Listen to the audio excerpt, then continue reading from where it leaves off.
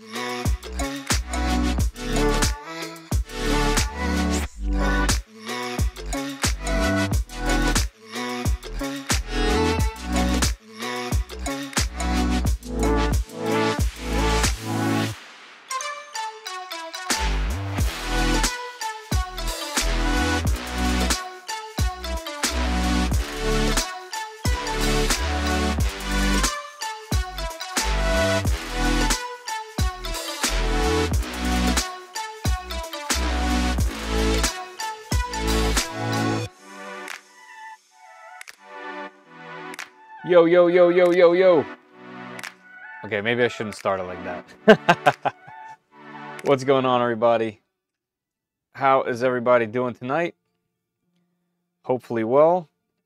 Uh, before we get cracking over here, let me go ahead and get the music playing. Make sure the camera's good. Camera's good. All right. Let me make sure the other views work. Classic. Okay. That's two times in a row, by the way, that OBS, two streams out of 42 streams, OBS decided to uh, work when I hit live. So that's good. Uh, how's everybody doing? Everything good? Uh, yesterday was a little Valentine, so I decided to not stream because, you know, wife and daughter. So uh, I kind of hung around and uh, decided to do it today. That's why I announced it early, and I saw there was some confusion in the chat early on about the time. So my apologies, but uh, we're here today. We're here today.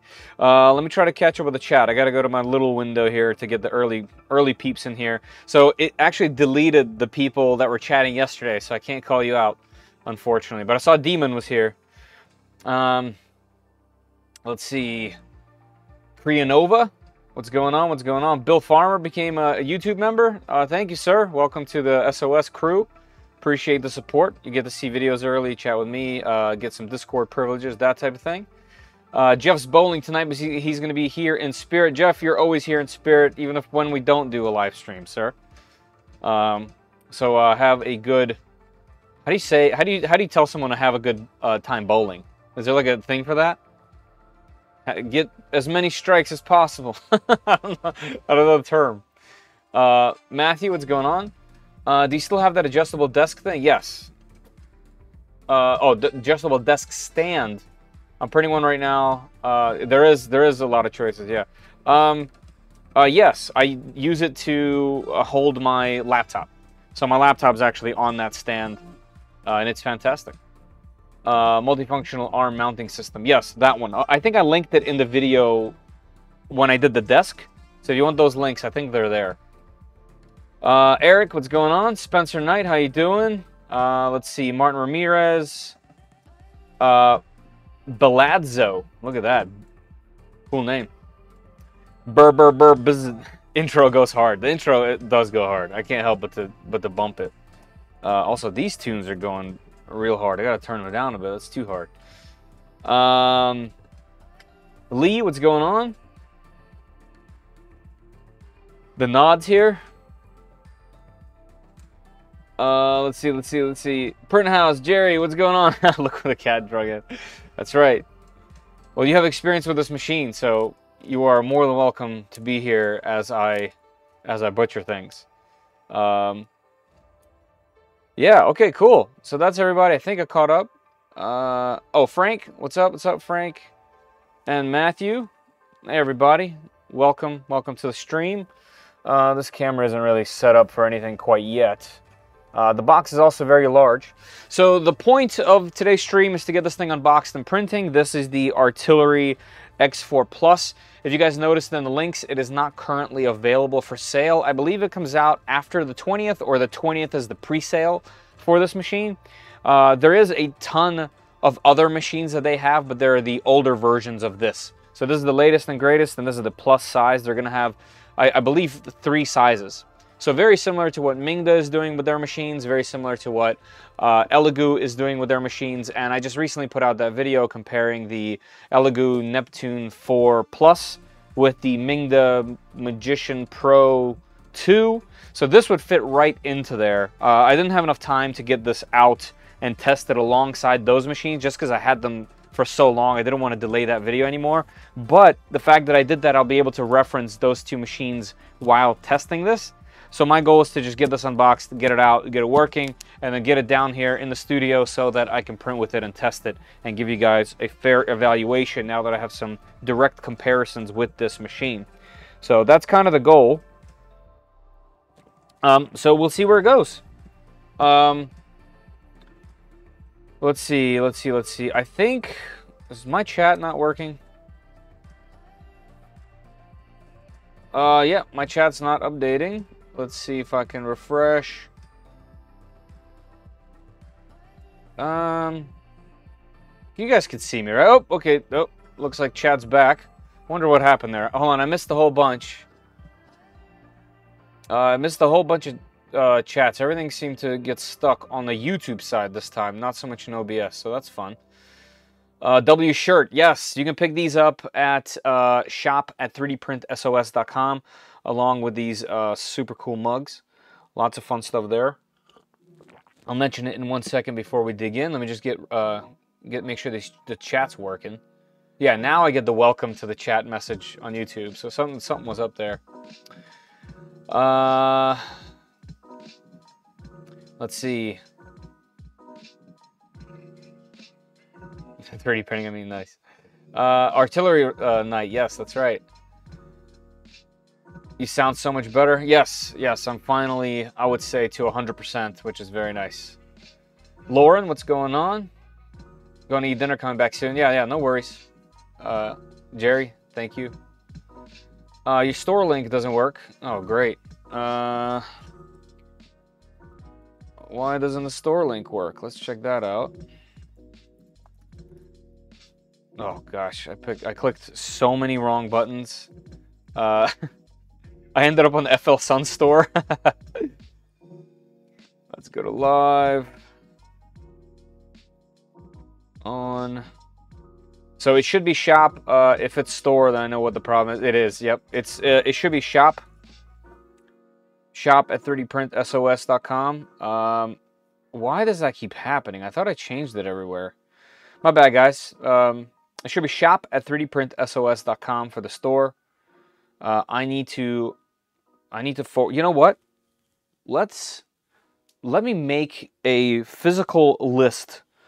Uh, on, where did I put all my? I guess I got rid of all of my actual notes uh, because I got a digital notebook that I use. But what's funny is the digital notebook's in my bag right now, and during live streams I don't take my bag out.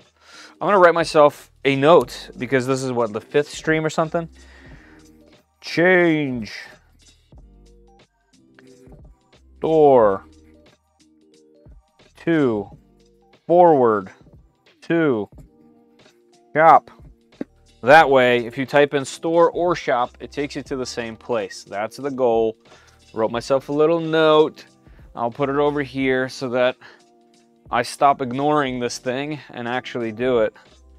All right, so it looks like I, there was definitely some um, disconnection uh, going on uh, with YouTube because it looks like I lost connection even to my um, my Stream Deck uh, app here that I use.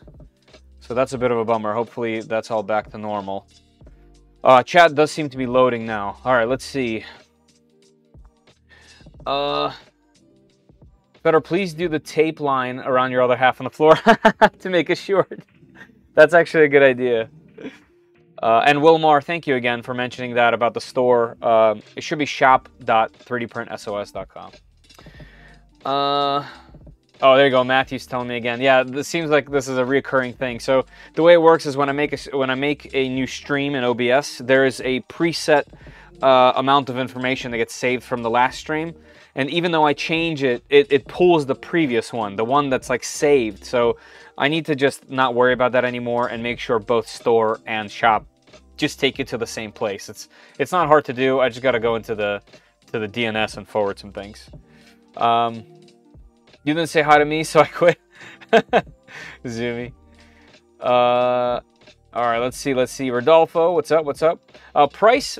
Um, that's actually a good question. Uh, let's see. Is it listed yet? Because it might not actually be listed yet. Uh, here, if we go to the browser view, this is their mini site for it, and I actually don't think it is. So it goes it goes for sale, well, for pre-order. It goes for pre-order uh, tomorrow. Uh, not tomorrow, sorry, the, the 20th. Uh, I just wanted to have some experience with it before that time. Uh, I believe if we go to here, let me let me copy this. Oh, you can't copy that? Wow, this is not okay. Uh, let's go to AliExpress because I I don't know if it's available here, but we're gonna find out. Um, artillery Sidewinder X4 Plus. So sometimes things are for sale here. They're not the correct price. Oh, here we go. Yeah. So I wouldn't I wouldn't consider this the actual price. Yeah, yeah, shipping's two hundred forty dollars. So this is just they they do this stuff for their own markets uh, for people to purchase. So I wouldn't I wouldn't purchase it from here uh, before the release. Like this is this is uh, yeah, it's not even their particular store. Like this is probably like some manufacturer thing that's indirect. So I would take this with a huge grain of salt. Um, but maybe this is telling of what the price is going to be, which is a little high uh, in comparison to the other two machines, right? Um, so whatever the price might be in the actual video where I actually have experience with this thing and take my time with it, I'll be sure to list. But I would, uh, yeah, at the moment, this is just a preview of a machine that's going to be out on the 20th. I, I don't I don't think that's the right price, guys. So just just consider that, okay? Uh, all right, let me let me continue trying to catch up with chat real quick.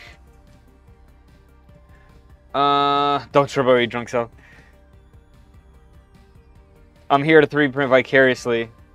A single fan pin, pin broke on my K1 Max tool. Oh man,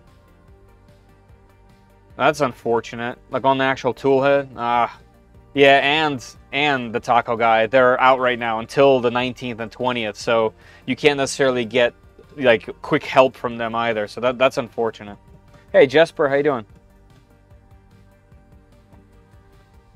I can't find the space for more printers. Neither can I. Yeah, Seawook, I, I would, uh, I, I, I wouldn't, I wouldn't, I wouldn't use that as a way to gauge the actual price. Sue me. All right, I'm just gonna get. oh, okay. Two things. Two things. Hold on. Hold on. Almost, almost jumped the gun. First things first is at the top here, there, there is a pinned comment. If you guys are planning on sticking around till the end, uh, I do a uh, filament giveaway by our uh, live stream sponsor, 3D Max. Uh, so that link will take you to this. This is the gleam.io website where you fill in just your basic information, give me just a tiny bit of information so that I could use it for some reason. I actually don't use it for anything. Sometimes I read these out loud uh, if it's like a long, interesting question. Uh, but all you have to do is answer the question, be in the United States, uh, and be present and you can have a chance to win a spool of, of PLA Plus from 3D Max.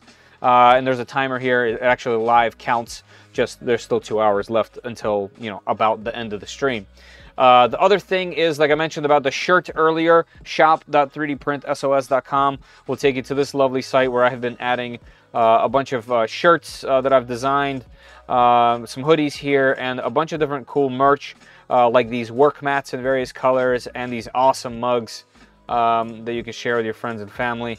I tried to make the pricing literally to the point where I make zero profit off of this.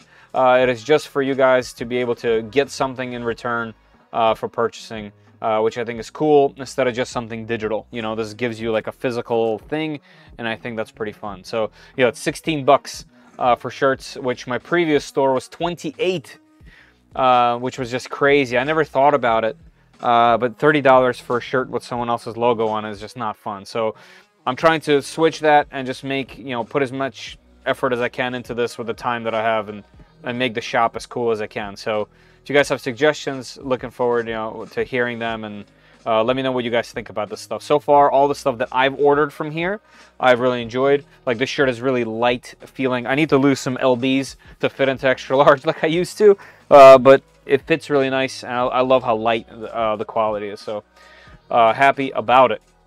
Uh, okay, so we covered the giveaway. We covered the shop, which I'm sure I'll mention a bunch more, and you guys will get sick of it. Uh, and yeah, we haven't looked at the specs yet, so let's let's do that maybe. Um, you must live in the US, US. You must answer the question. You must be present to win. The facts. These are all facts. I have been picking some winners that have not been replying to the question. Uh, and uh, yeah, I just choose another winner at that point. Two out of three. Using horse milk every day. Waiting uh, for the V. So yeah, the V400, I've printed a bunch of stuff for it. Actually, since you mentioned, um, since you mentioned, I'll give a little preview of it because uh, I did. I never ended up making a short because Valentine's Day. Here's what I printed, uh, and this is not small, by the way. Um, this printed at 300% speed, uh, and it's just it's a fantastic print. As you can tell, everything just popped right off. Um, yeah, it's it's quite quite good. Then I went into the slicer and I, I sliced a Benchy. Uh, I got about 20 minutes out of this. I think I go much faster. If you can tell by this line, uh, I had this printing at 220, so it needs to go higher. It needs to go, not higher, it needs to go, um, it needs to print hotter uh, for that line to go away. Uh, but generally speaking, for just straight, uh, you know, dragging and clicking print, uh, this is pretty good. This needs to be optimized. And then I did the basic optimizations after I uh, what's it called, rooted the FL Sun speeder pad. Uh, so after this print, I went ahead and, and, and just put on raw Klipper on there. So and KlipperScreen, so it doesn't have the FL Sun version anymore. Uh, and then I went in and tuned the machine a bit, and I printed this guy. Uh, so it has a little bit of a ghosting situation going on, but that's something we can easily tune uh, tune out. And this printed so fast; it was like 20 something minutes. Um, yeah, once again, pretty much nearly flawless print otherwise. Just needs to, some tuning because it no longer uses any of the tuning that they put on the machine. Uh, just because that's how I tend, I tend to do everything on hard mode. Um, but yeah, generally speaking, that's a super exciting machine. Um, and it's, it's just cool. It's just cool. What's interesting is that Delta machine is about the same size as this. So that's another interesting comparison to make as well about, you know, just how much space these type of machines take and then what you got to consider when you're trying to buy something in this price point. Because uh, uh, technically speaking, with this machine unboxed, I guess with the other ones unboxed too, I will have a 300 by 300 Delta, a 300 by 300 Cartesian, and a 300 by 300 Core XY machine. So it'd be kind of interesting to make that comparison as well. Um, right? Am I right? Smash the like. Yes, please. The dust mat's really nice, guys. Thanks, Zumi. T super comfy. Nice, thank you. Look at it pull the pin on the V400. Yeah, it's it's a good one. Use my link if you do.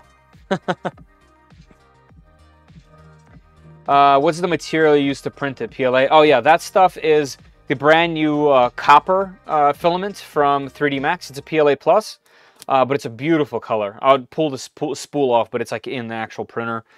Uh, it's it's just a beautiful one. I only tickled it. Uh, would you consider a tuning guide video, or is that whack? Um, there's a lot of them out there, and to be honest with you, uh, I've considered it a lot in, in various different ways. Honestly, if you're gonna do Klipper, I would just uh, I would just suggest going to uh, the tuning guide, Ellis tuning tuning guide, and just go down the list. I know it might seem tedious, but you'll do it one time and you'll get the results and you'll be like, okay, that makes sense. And then the second time you do it, third time you do it to other machines or whatever it might be, it gets so much easier. You don't even think about it anymore. Uh, but that Ellis tuning, tuning guide is, is top notch in terms of how to tune that machine because it goes to every single detail. You don't have to do each one. If you're having a certain problem, you can just do the you know the the tuning that comes with it. So Ellis Tuning Guide coupled with Orca Slicer and its built-in tuning, like Pressure Advance and and Max Flow, it's so good. Tell me about space. Ooh, ooh. Uh, Anycubic Cobra Max 2, yeah, that's that's just big. Uh, my Aquila hasn't been printing well at all after the uh-oh, uh, uh-oh TDB, TBDD mod. Uh, so one thing to check is, I noticed this way later, uh, and not on my machines that I have here, but people have reported that the filament path isn't perfect because some, I guess they changed plastic or they just changed the manufacturer of the direct drive um, lever, and the lever no longer aligns perfectly with my old school Aquilas that I have. Like I have, I have, I have have literally the OG Aquilas. I have a bunch of them. Uh, so whenever I was designing it, it just didn't, it didn't consider all the other levers.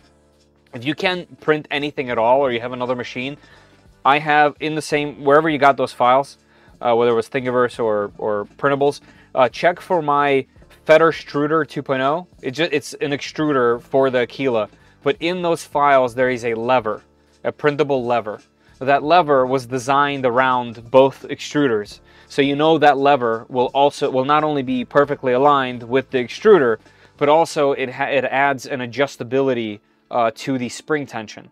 So one of the things where if there's a misalignment, the spring tension isn't the same anymore and it kind of messes with it. So you being able to control your spring tension with that lever is just better. So I would suggest you do that or try that. Uh, where do we find that Ellis tuning guide? Just Google. Google uh, Ellis. It's E L I E L L I S tuning guide. Or if you, even if you type in Klipper tuning guide, Ellis will come up. And it's like a whole wiki, you know. So it is. It's the, it's the new uh, new formula.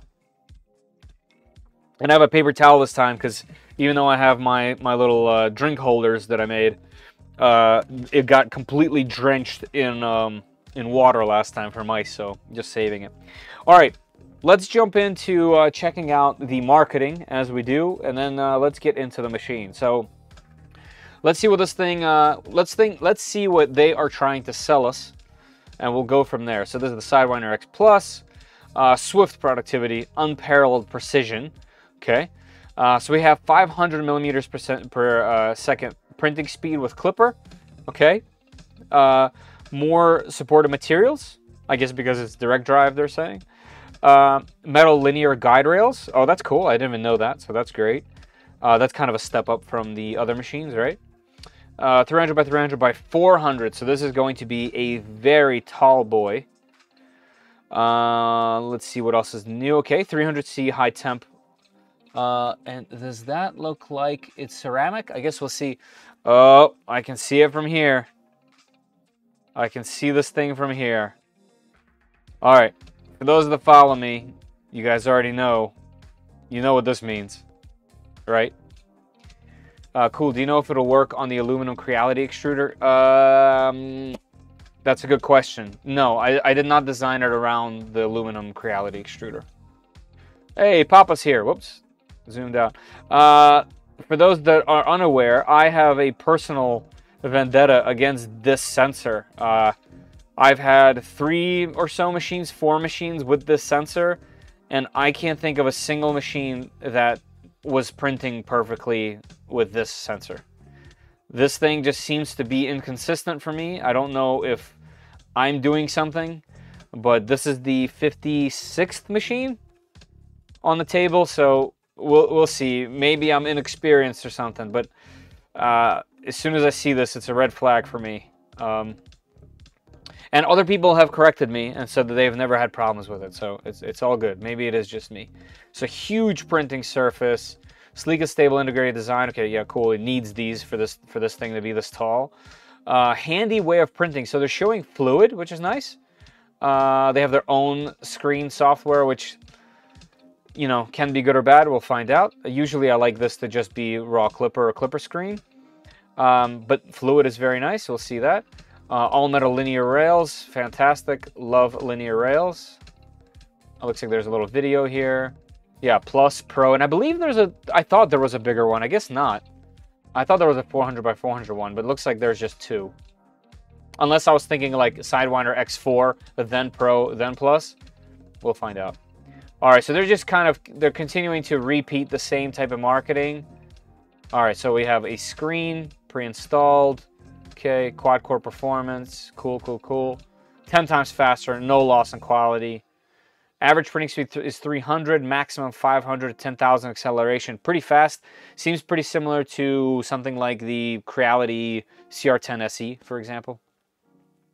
I really dislike that sensor. Yeah, me too. I've, like I mentioned, I, I just, I've never run, I've never had a machine that has that sensor that's had consistent leveling. It is literally always 100% so far in my personal experience been a problem. And I've always mentioned it, but I don't know. Uh, every time I do mention it, people have always, always in the comments or somewhere have said otherwise. So maybe it's just me. Maybe this machine will prove us wrong.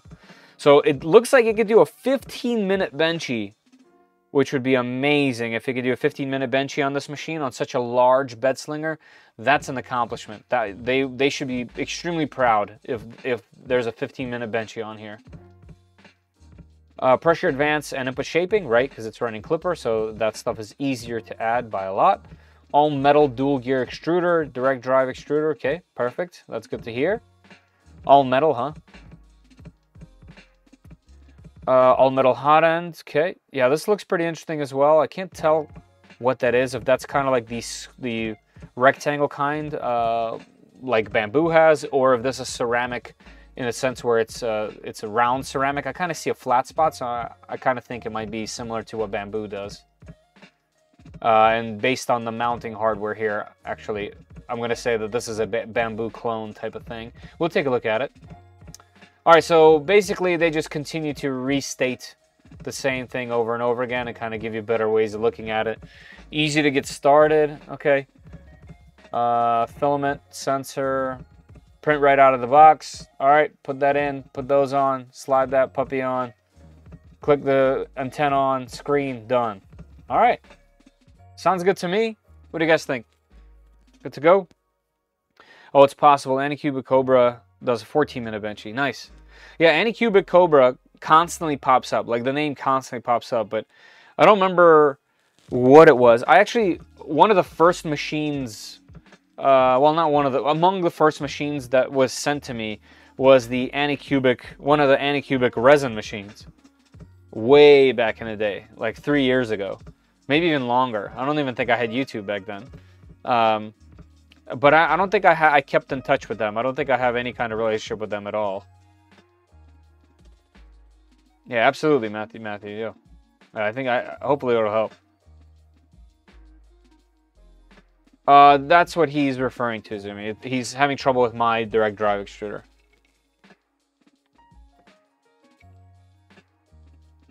It is printable.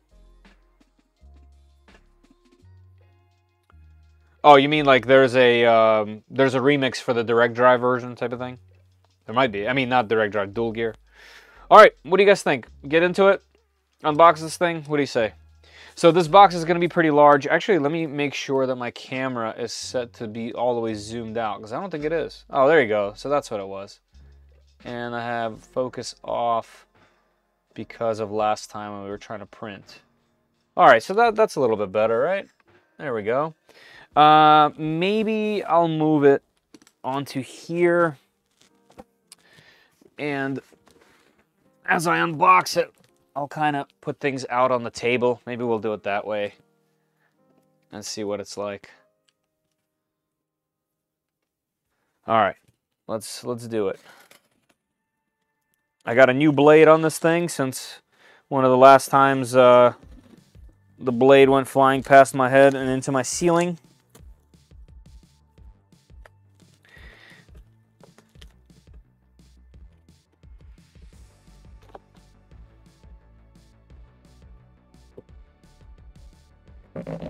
Hey Tigers, Tiger Party, in, uh, Tiger Party, Tiger Flower in here? Yeah, there he is. What's up? Yeah, just in time for the unboxing as I bump myself over here. All right, we got good foam, good foam. Let's slide that over here. All right, let's see what's good. We have our little filament sensor right off the bat on a swivel. Whoa, that thing is light. I just tossed it all the way across. We have a sample of filaments, which printer, printer companies need to stop doing. This antenna is actually pretty good. Uh, I've had some good luck with that. High-speed PLA. We got clippers. All right, and unboxing is finished. We can now we can now close this box. The most important part we have right here. Good old classic clippers. Uh, scraper, uh, actually the same type of scraper as Qidi-Tech has, which I've only seen with Qidi-Tech. We have a glue stick, uh, which is nice of them to include. I have too many glue sticks, so I will keep this here. We have uh, some um, lubrication for the rails, which is fantastic. I'll get that out just in case they're not lubed. We have four screws to hold on the top of the gantry. We have a screw, I mean screw, a um, cable tie. Uh, here's some more screws. Okay, they're all labeled. Are they labeled in the front here? Oh, they are. Okay. Yep, M5 by 40, M4 by 18. We have a USB does it say what it is? Also the same type of USB stick as Qidi-Tech has. That's interesting. So far there's two little micro crossovers there. I wonder if they use a similar manufacturer for the, some of the stuff. There's a small piece of PTFE tube and it's black, which is kind of interesting. I'll have that out as well just in case. And there is an extra nozzle. And the nozzle is a very interesting shape. Uh, it's a little bit abnormal. It's a 0.4 millimeter nozzle, but that is definitely an abnormal nozzle. Uh, let me show you guys what I'm talking about. If you can see that head, let's see. Come on. I thought I turned uh, turned auto on. Off. Go away. Turn off. All right, camera. Let's do global.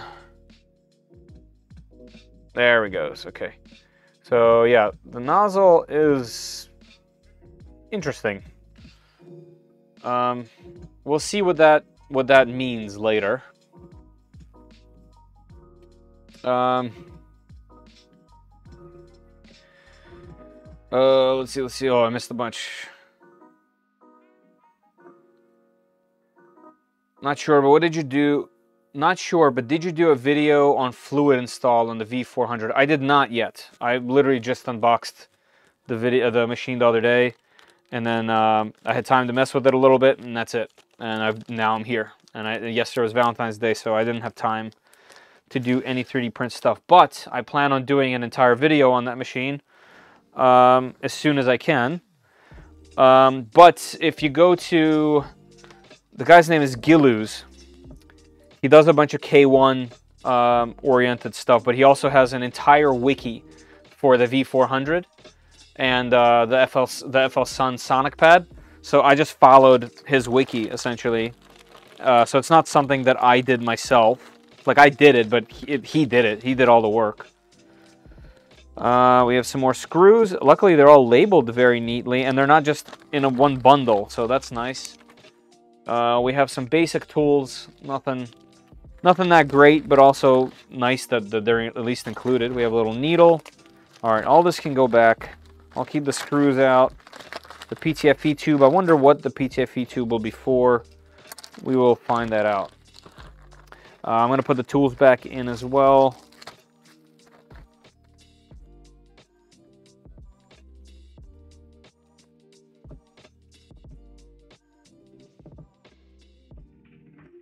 Finally made it for like, hey man, how you doing, Joseph? You got a little Buntu hat? That's cool. Nice hat. Uh, it's done. We have the nippers. That's right. Once we have the nippers, we're good. It's funny how much difference there is with these printers. My Max 2 works like a charm, but my buddy has a huge problem with the bed adhesion. Uh, well, so that's another thing. So bed adhesion specifically could change between two different rooms. If your buddy doesn't have a dehumidifier, maybe it's too humid in there. Maybe the, the ambient temperature is different than yours. Uh, maybe his isopropyl alcohol uh, has an additive in it and it's not 99.9. Um, you know, there's all sorts of things that relate to it, but also more than likely is you're doing you're, you you do Z offset better than him or her. That's probably the that's probably the main one. No printer can function without them in the box. That is 100% correct. Um, that is why uh, this shirt exists. Yes. I love it so much. I don't know what I don't know what's wrong with me, but this is the type of stuff that I like. this is it right here. That's the pinnacle.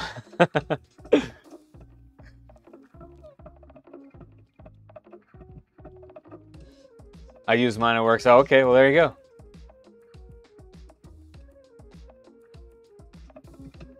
Fan blowing, yep, that could all do it.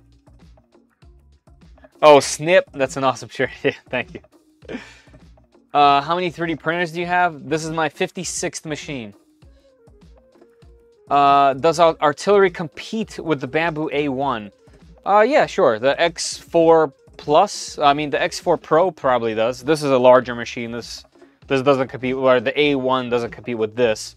Uh, but every bed, now that they made a bed slinger, every bed slinger competes with the A1. Um, if you like, if you don't mind Bambu, if you if you even bring that up, you should probably have a Bambu machine. Uh, because they make great machines, they have amazing support. Uh, the A1, I believe, is fully recalled though. Uh, Alex, to answer your question, like for real though, uh, I think the A1 is fully recalled at this point. You can no longer buy one until their cabling fiasco is resolved because they have a power cable that lights on fire and explodes. So, uh, is the X4 available outside the US? Uh, it's not available anywhere as far as I understand. I, I know that you can buy it on AliExpress for an outrageous price right now, but this machine comes out on the 20th. It'll be available for pre-order. I wanted to unbox it. Uh, I was not told that I can't, and I want to get this thing out and in my studio before uh, that time frame so that I can have some time to actually, you know, have some experience with it. And one of the other reasons I chose to do this instead of some other machines that I have to unbox is because I just recently did a video on two really similar machines. And while those are fresh in my mind and I still have those in the studio, I want to have this to directly compare so that when I make a video on it, I can actually make some kind of decent suggestion instead of just telling you what their marketing says, right? All right, we got filament spool holder. Where's it manufactured? Definitely China. Hey, Demon, how you doing? I saw you were in here yesterday. Went back to WoW. uh, we have a a booklet and I'm guessing a quick start guide. Yep, quick start. Looks like this is all related to their uh, actual firmware, which actually looks good.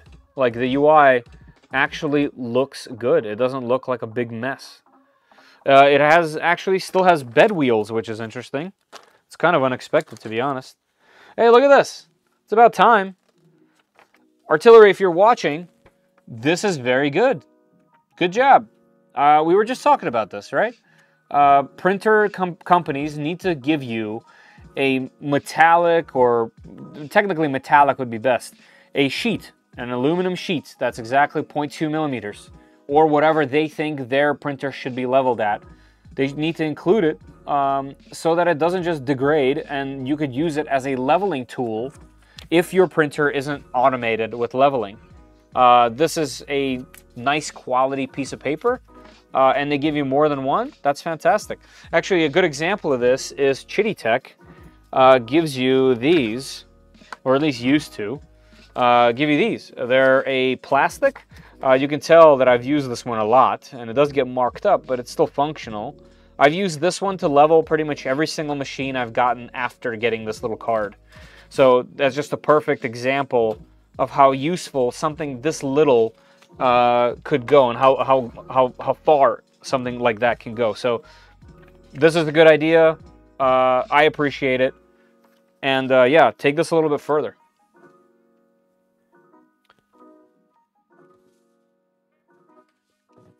I came from Norath. Uh, okay, here's the screen. Looks like, you know, just like with the um, with the Elegoo machine, it's detachable with a magnet. Yep, there we go. So we have the mount and a magnet here. It's uh, not quite as big as that machine, but this is plenty big. Uh, where's my iPhone, for example? You know, not too bad.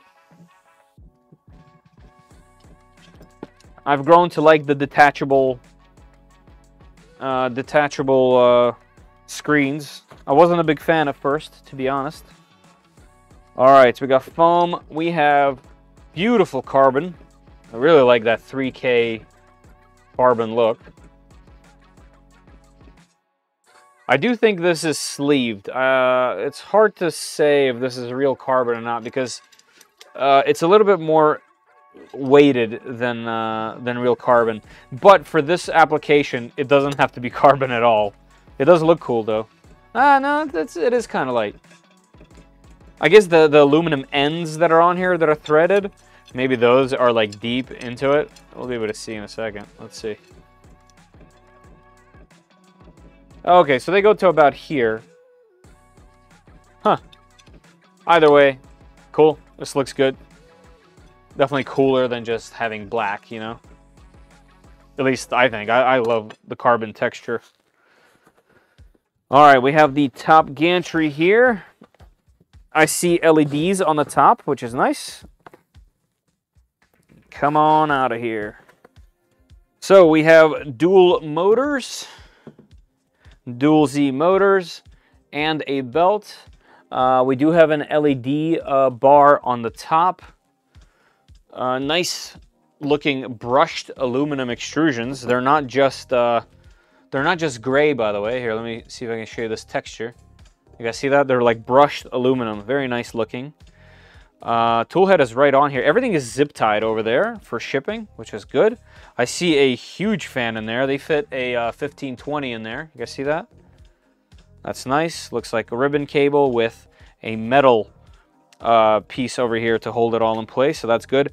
Giant rail, I love seeing this more and more. Uh, uh, just, you know, the, lar the larger rails make things so much stiffer.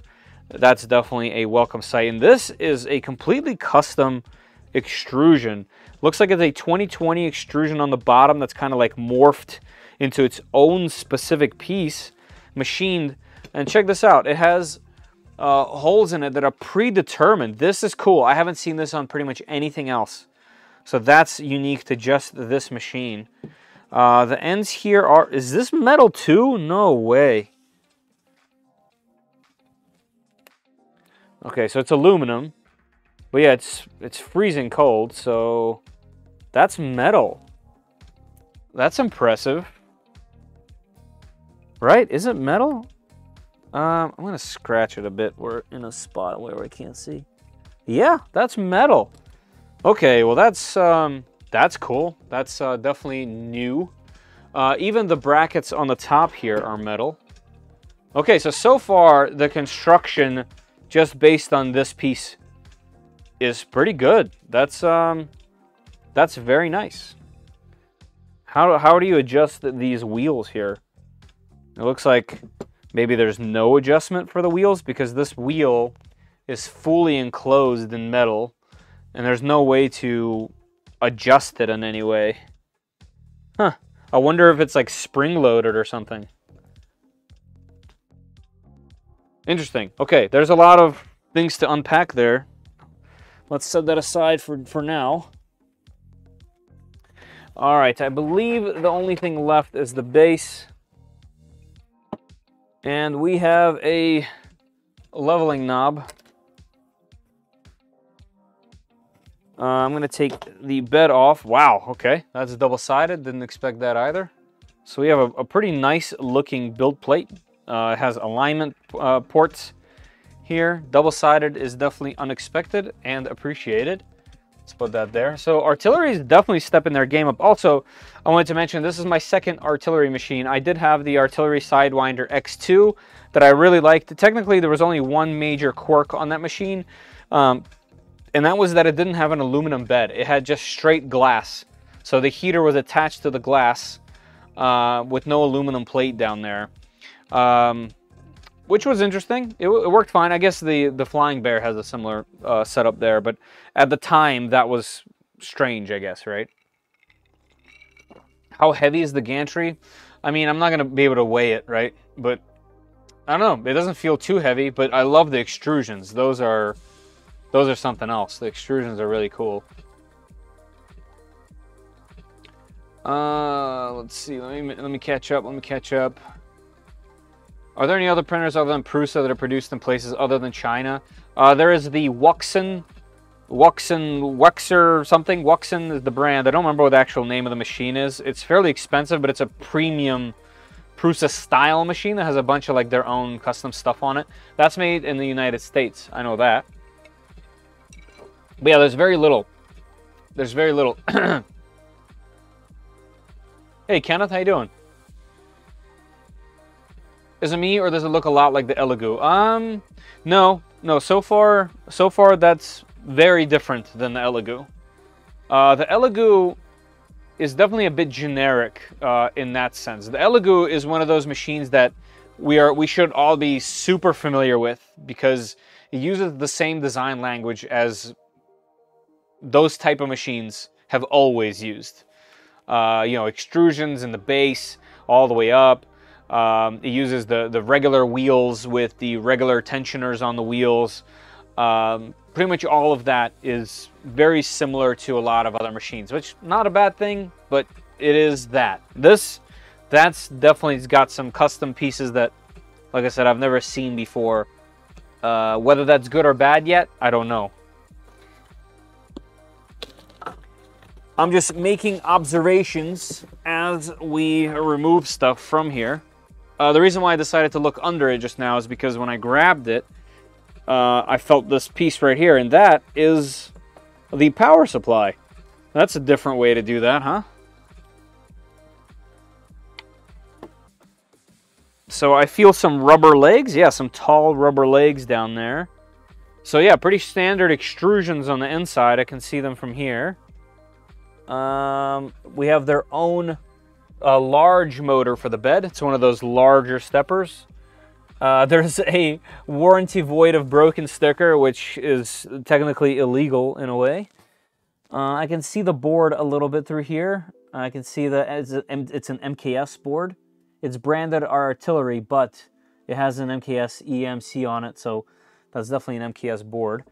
It has a pretty good size fan on there. It looks like we might we might as well see what's in there because this machine has some interesting pieces on it.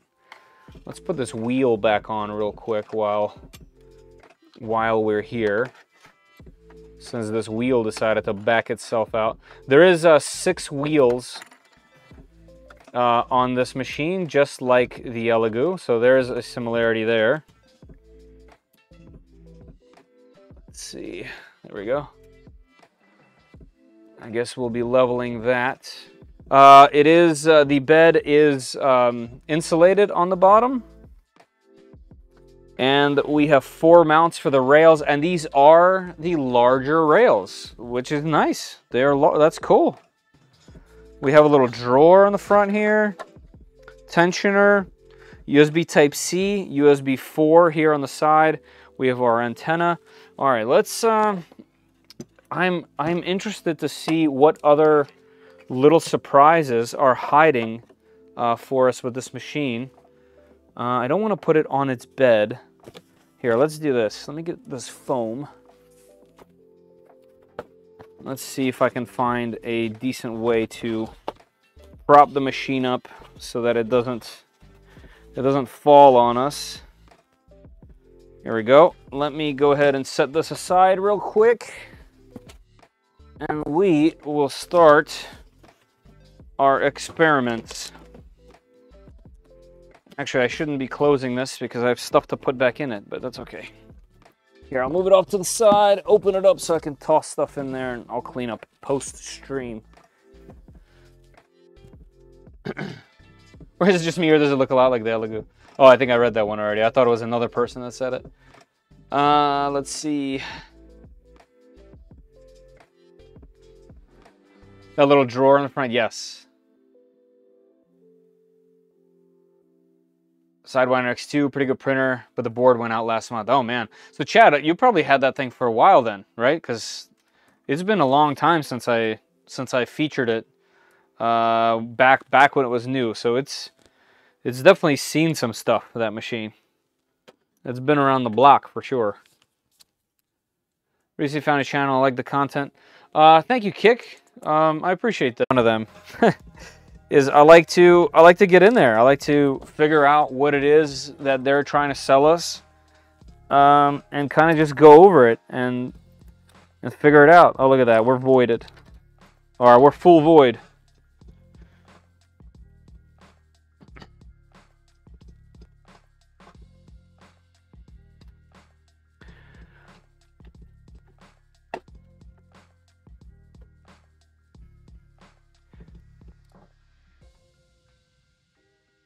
There is uh, definitely a lot of screws on this thing.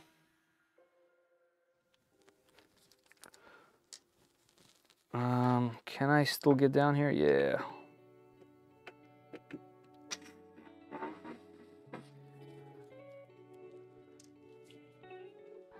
Backwards. No! you wanted that warranty, huh? I have the uh, Sidewinder 2 uh, X2 and it's great. Yeah, yeah, I agree. I, I had a good time with that machine. The stream stopped? Um, what do you mean? Uh, looks like it's fine here on my end. Uh, it's back. Wait, what? What do you mean, rest in peace? Well, what's happened? This router is too cold from the weather. it's back. Stream cut out for a few minutes, was black screen. Oh no. I avoid warranties for merch. It's back now. Okay. Hey, Anthony. Uh, okay, so we're good then. It stopped about two minutes ago. I was just yapping. I was yapping how our warranty was void, and uh, I was talking about the companies that no longer send me, or not no longer, they just refuse to even talk to me. Um, because they probably don't want me doing this. Hey, JP. Was buffering? I thought it was just me. You're good now? Okay, cool, cool, cool. Uh, by the way, I appreciate you guys telling me this type of stuff because there's no way for me to know. Like, on my side, everything looks good. Uh, yeah, it does have some drop frames though. It does say I dropped 400 frames, so there was some time, but I, you can't see that here until you look. All right, we're back. Okay, good, good, good. Just go on. It's okay. Oh, Love, how you doing, man? All right. Uh, looks like we got one more screw. Oh, okay, the front over here is in fact attached.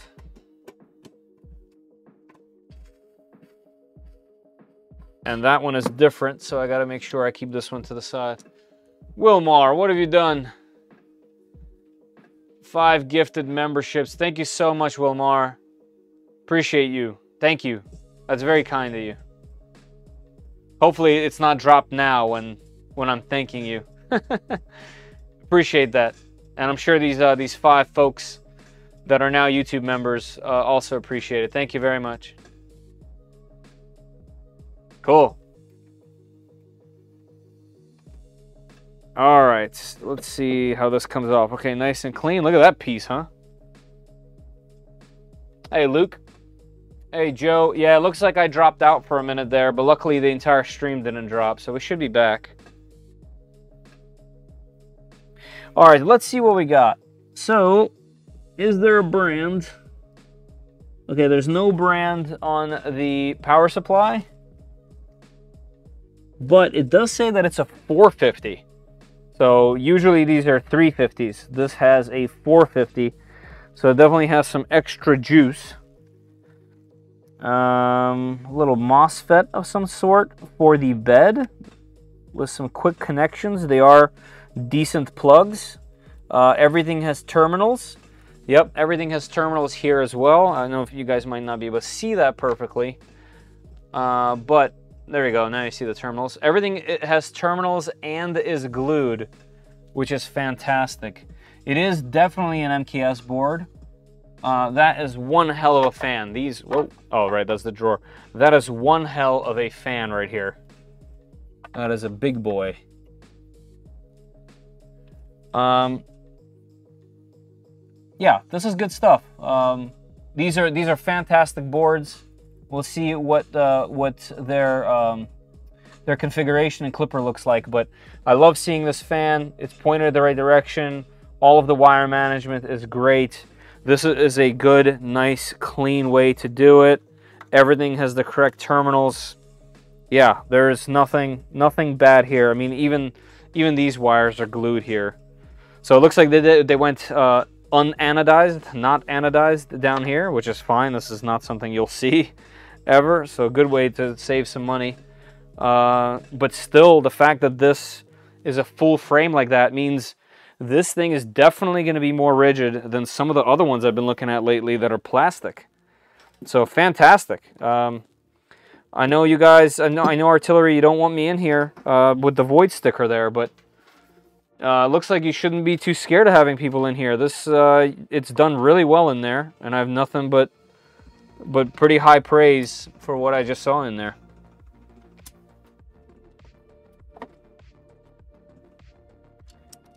Fantastic. So, so far, obviously we haven't printed yet, but in terms of, come on, but in terms of the uh, look and feel, in terms of the finishes that I'm seeing on things, so far so good.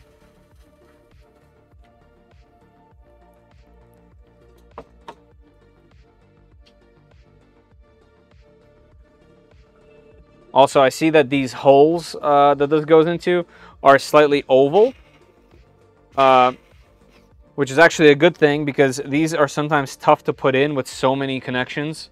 If one is slightly off and you tightened it, the rest are going to be off, but this means there's plenty of room to fit these in to take them in and out very quickly. So if you did need to get in here, that's that's not a problem. You know, sometimes when you're dealing with a lot of these things and the way to differentiate yourself is through these little details. Also, interestingly enough, they made this whole chamber as small as they could uh, in terms of the height, right? The, this this comes out, which means it gets fresh air. Uh, this fan sticks out, which means it gets fresh air, uh, including the entire power supply. It's kind of like isolated from the chamber when they did it this way. A lot of interesting little design decisions. Uh, I like the uh, I like the little breakaways from the cookie cutter.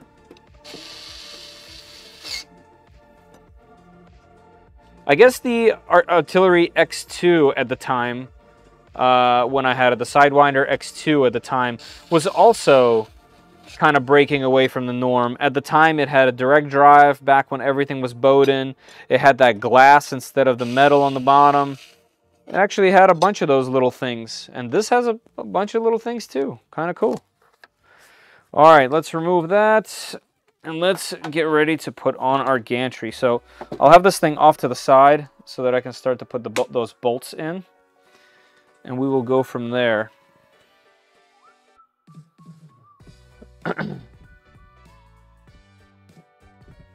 Uh, JP, no, I do not. Uh, the machine actually comes out. Uh, well, it's uh, it's going to be available for pre-order on the 20th.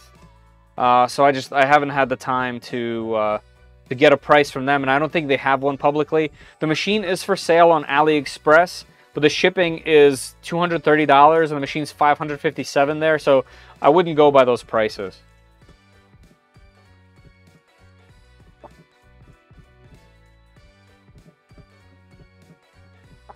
Uh, did the printer come pre-assembled? Uh, what you see right now is how it came. I haven't assembled anything yet. Uh, what's happening is I wanted to see the hardware uh, because I'm just intrigued by some of the choices that they've made so far, and uh, and so far I just I'm just digging what what they got in here. I hit the thumbs up button, encourage others to do the same. I appreciate that, Larry. Thank you very much. Lord Boo, yes he would. Yes he would. Wow, is this the Bibble A1 killer? Hey, Jesper, I, I, don't know about that. But, uh, so right now the A1 doesn't exist because it was recalled across the world. So technically any machine is an A1 killer at the moment. the A1 killed itself. Uh, FlashForge is working on an AMS. I think everyone is working on an AMS. Uh, surprisingly, I don't actually I don't know if you're going to be surprised or not, but I've asked a lot of manufacturers that I talk to, and pretty much all of them have said that, well, they, they all have said yes and no. It's in development, but no one, no one has given me a single clear uh, yes at all, but a lot of them are, definitely. Hey, Gryfang, how you doing? This company's the one that's looking into electronics. Exactly. Well, who knows? Who knows? What's the build volume? It's 300 by 300 by 400. So very big. When I see a void sticker, I instantly see whether 100% instantly did it.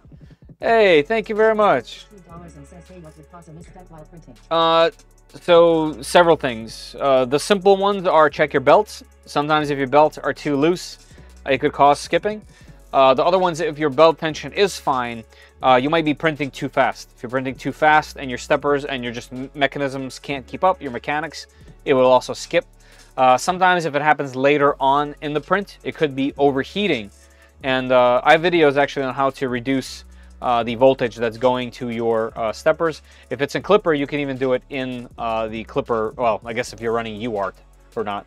Maybe that's a little bit too complicated, but the first things I would check is belt tension. If the belt tension's fine, I would slow it down, see if it's still skipping. If it's still skipping, then maybe it's catching on the edges of a print uh, because of curling, so maybe it's a cooling thing there's a couple trickle down things that you can do um, to check for uh, missing steps, uh, but it all depends on how it's missing steps and why. So first, belts. Second, slow it down. Third would be heat, and then check to see if your cooling is up to par, because maybe the nozzle's catching on the print and then it's causing skips. No, no, 300, 300, 4, 300, 300, 400 mostly looking at the 5M non-pro. Yeah i mean that thing is so cheap. 299 is unbelievable for that machine. It's fast it's reliable it's good stuff.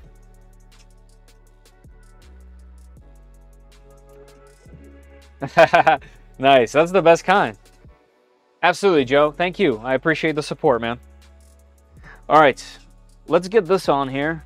Uh jerry uh, I'm I'm pretty I'm pretty impressed so far with some of this interesting stuff that they're doing uh, I know you have one of these machines. Um, oh, it looks like I have to un I have to cut that zip tie off because that's going to be in our way. But they've made some pretty interesting design decisions on this thing uh, and material decisions that I haven't seen on pretty much anything else. Uh, just the rails alone are a huge touch. this entire X uh, gantry over here is very refreshing. It's new in the way that they did it, um, and their own, which is which is kind of cool. Is there another zip tie somewhere? What am I missing here? I've got to move this puppy up. Oh yeah, there is another zip tie. Here, let's gently lay her down.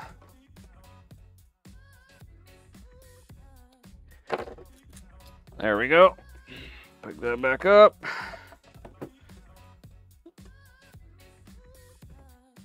Yeah, so there's been uh, definitely a couple very interesting machines lately.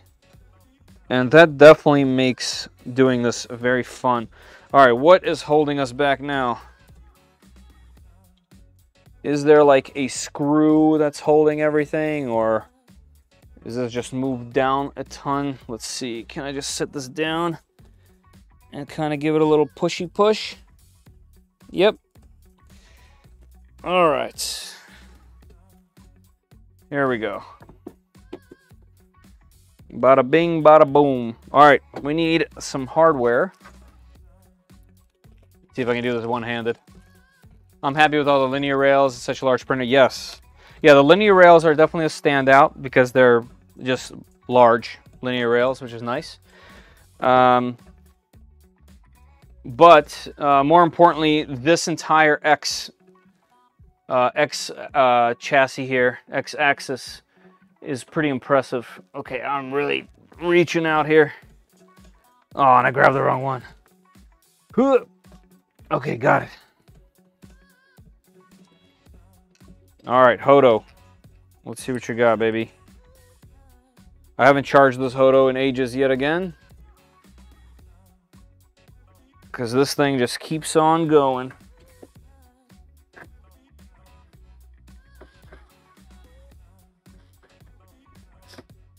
Where are we at with this?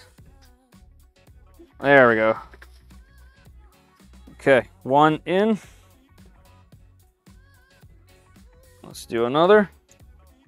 Uh, for those of you guys just joining in while I'm doing this, uh, check out the pinned comment all the way at the top of the chat. Uh, you should be able to find a link that takes you to a gleam.io link uh, where we give away a spool of IIIDMAX uh, filament from IIIDMAX PLA Plus uh, at the end of the stream. So if you plan on sticking around and you're in the United States, um, maybe check out that link and get yourself in there. Also, if you guys like the shirt that I'm wearing or this super cool mug, check out uh, shop at uh, 3D Print SOS and uh, maybe get yourself a little merch all while supporting the channel and get your, getting yourself something pretty cool in return.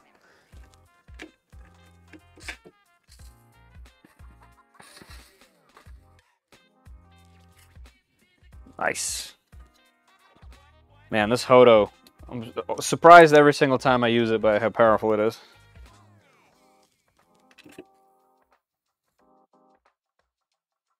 It has been a pretty, pretty cool device. All right, so now we can put this thing on here straight. Let's see. Pretty good. Trying to kind of rock it. No, it's got it's got nice soft feet on it as well. All right, let's get this on here. Uh, we need something that has four. I see two, two, two, and they're all different. Are they different sizes? Oh, it's probably two long ones and two short ones. Yep. And that's because we're not looking at the instructions. But these four have washers, so this is the ones that we need. All right, so you want these things to be loose. Uh, should we put them on the outside? We're gonna put them on the outside. Yep, that looks right. So we'll tighten them up there and then we will tighten both sides as we go. Oh, you guys can't see this on the screen. I will move the camera in one second. Dun dun dun dun dun. Good song.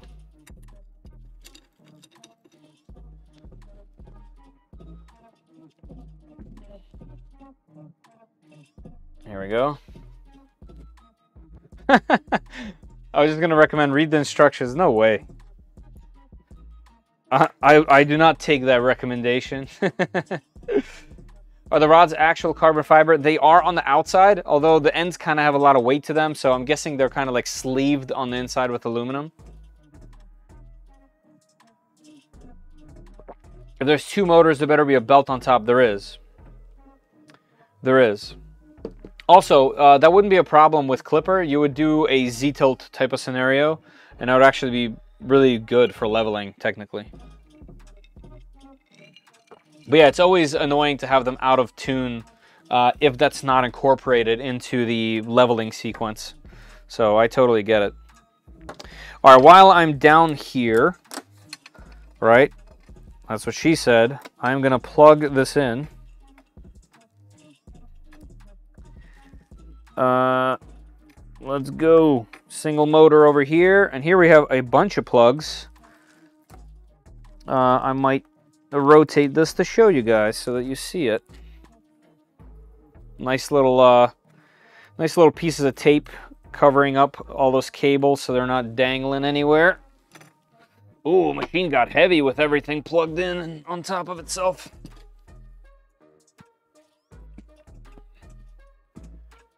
Boom, boom, boom, boom, boom. All right, so right over here, let's get the bed out of the way.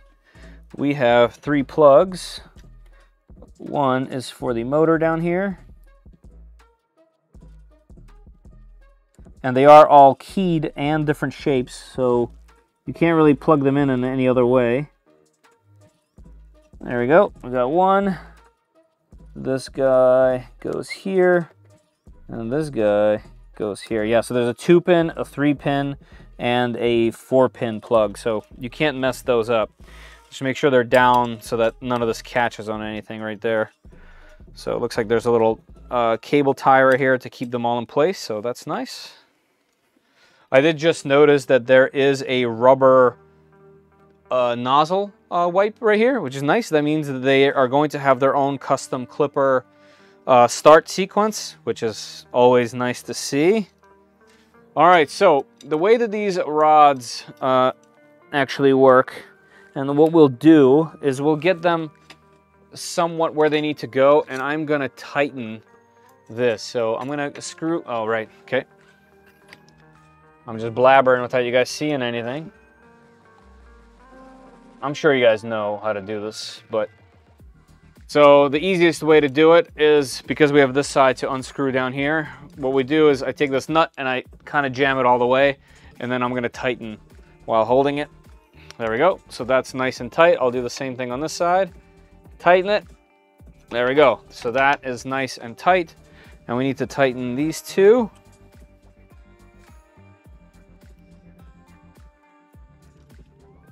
So let's get that in the general area.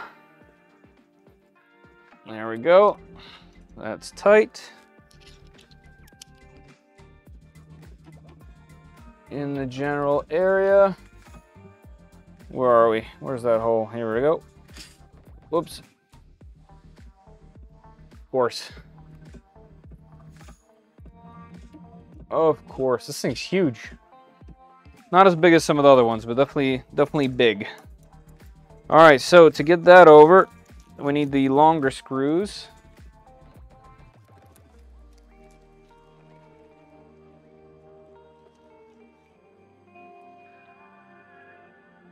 Uh, the rods are light, but I don't think they're carbon fiber. Yeah, I think they're wrapped in carbon fiber. Anyone have a price? Uh, I don't think so. I think it's trying to compete with all those machines you mentioned, but no price as of yet. We'll find out on the 20th, though. Uh, like I mentioned, I just wanted to have this machine out and usable um, and you know, it's either me unboxing it by myself or me unboxing with you guys. And I would much rather unbox it with you guys.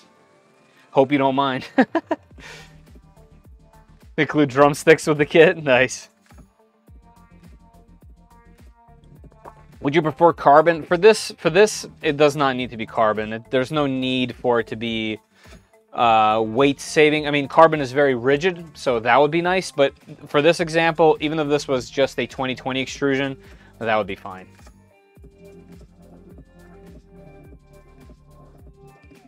Uh, I wonder how the ring will be because it's slinging around a lot of weight. Uh, yeah, we'll see. But I just purchased two mugs and a work mat. Wilmar, you are you are the MVP of today, man. I, I appreciate you so much. Thank you for showing support to the channel. Uh, it means a lot to me, and I hope you enjoy those things. I hope you enjoy them. That's that's cool. Go to tend to my resin printer. Ah, resin. Ah. Added Qidi Mac, Qidi, Qidi Tech X Max 3 this week. Ooh. And it's been flawless. Nice. Good to know. Yeah, I don't have the X. I have uh, I have the plus. I have two pluses, and I just gave one to a buddy of mine today, actually. Um, fantastic machines. I really enjoy them. Uh, flawless ABS prints with that heater. So this one needs to be screwed in. Let's see how many turns. Looks like two turns. That's perfect. So we'll do that and let's tighten it. And then I will go ahead and tighten this nut right over here. And actually that little wrench that comes with it would have been perfect. Uh, but I will just use these, these channel locks here. Bam, okay. And let's flip this baby over and do the other side as well.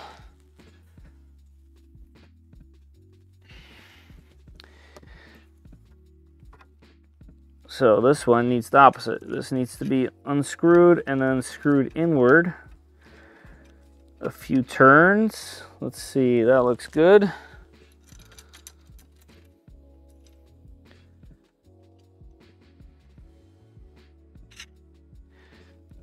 Okay. And now let's tighten this. Looks like I need to unscrew that and tighten it first.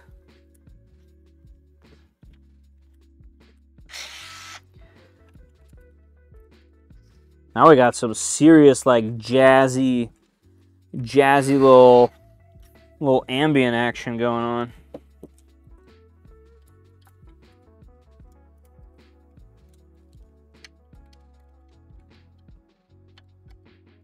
This is the type of stuff I like to listen to when I'm like working.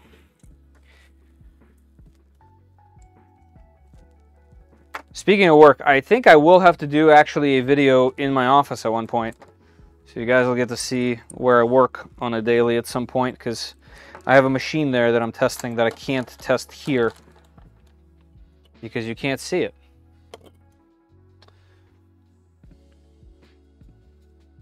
I'll trade a 55 gallon drum of male horse milk for the X Plus 3. wow. That's pretty epic. Hey, Fitter, do you think that the Palette 3, Palette 3 is better than the AMS? Or listen, if the Palette, the Palette's been out for a very long time. If the Palette was really good uh, and good for its price, because it has always been really expensive, then people would be talking about it left and right. Uh, I don't think there's anything better than the AMS at the moment. Um, I think the Chameleon is making some waves uh, because it's really simple. It can be set up on any machine, especially if it's running Klipper, specifically if it's running Klipper. Uh, so there's something there. I don't have personal experience with any of them, unfortunately. Um, so I can't really say. Uh, but but the best way to look at it is if there was an AMS that was as good as the Bambu AMS, then we would all know about it uh, because everyone would have one on their non-Bambu machines, right? So I just don't think that exists yet. I have about 15 kilogram ASA on my X Plus 3, and I've not used any glue or other adhesive helpers. The chamber heating fan is a treasure. I, I agree. I, I, still do use glue, but mostly for just the security measure at this point. I don't actually re I, have actually not reapplied uh, to this bed or the one at my office. I actually I don't even remember the last time. Um, but I applied it one time. I baked it in at 100 degrees for like an hour. Um, and now that it's baked in, uh, uh, that's the only way that I print on it. So I, have actually not printed anything on there except for ABS and ASA at this point. The only AB, the only PLA prints that I've done on it has been like for testing for for that for my original videos. So elephant milk is healthy. That's a new one. We're really getting into all the milks. You guys are milk connoisseurs. Uh, okay, we got the top here. We got this on. Uh, what do we need to do? This needs to be plugged in. Uh, no, this is the sensor. Okay, so let's do let's do the top here. Is this like Creality where they pops in? No, this is not like Creality. This must have its own screws. It does, and it probably has specific holes, it looks like. Uh, let's see, does this uh, go forward facing? No, it's reverse facing. Uh, I need to lower my table because I cannot see up there. There we go. Uh, yep, there is screws there. This is not the right size. Oh, another good song. We're getting lucky with all the random tunes today. This one's a good chill one.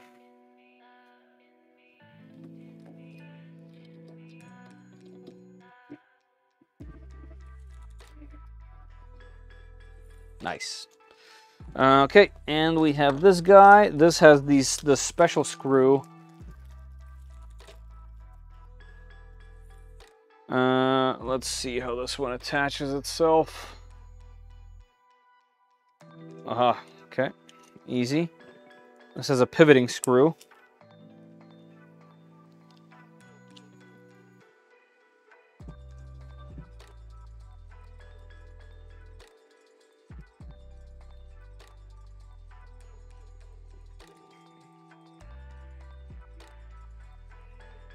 Yeah, so this gives it a little little playroom there. How is there just like a random conversation every live stream? yeah, Jake is as surprised as everyone else. Yeah, the chat the chat sometimes goes into all kinds of dark dark dark spaces.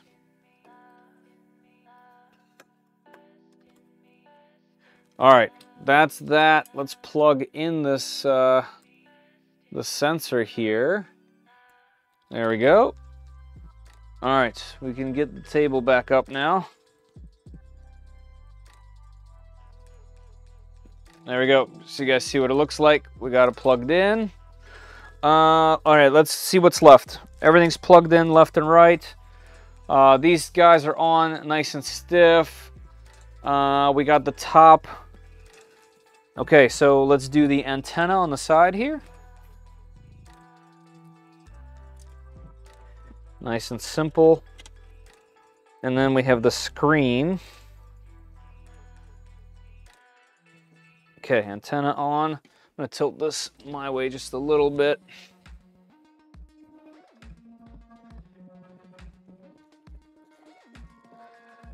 I guess we'll have to find out what this guy is for. Uh, no more screws. Did I miss a bag? I did.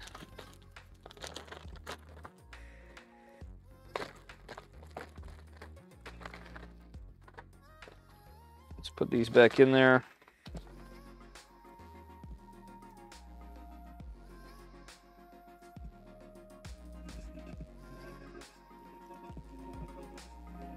Uh, yes, Zumi, many times.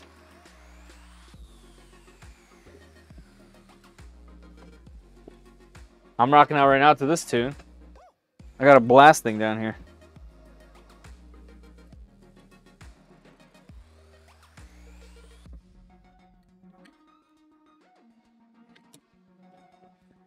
Uh, anyone into uh, EDM at all? Anyone into Excision?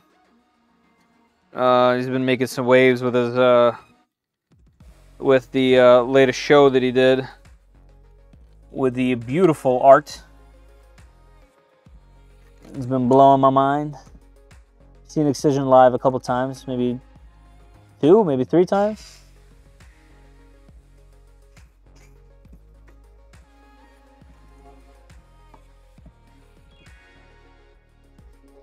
All right, screen.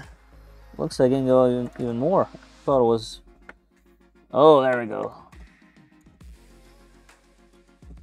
All right, this should be it. Wow, how far does that go? All right, screen. Let's plug that in.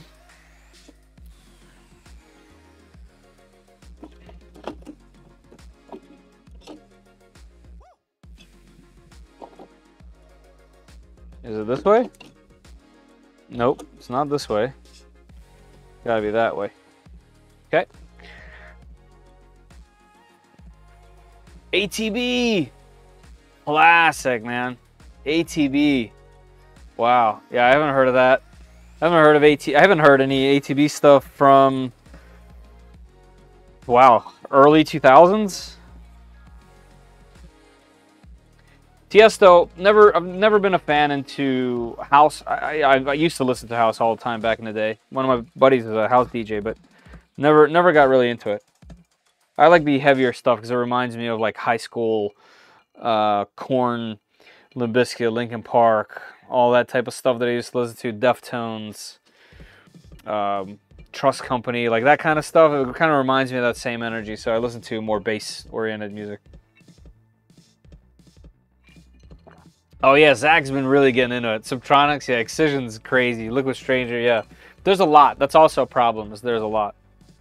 So anyone that listens to EDM obviously knows Skrillex. I, I get it. Um, it's a love and hate thing. Whatever. I've been following him since, since uh, I guess when he became Skrillex at first. But some the latest thing that he put out, the latest project that he put out. I know you guys might not be a fan of him anymore, or maybe you guys are, but check out uh, his uh, live play uh, of um, here of his latest album.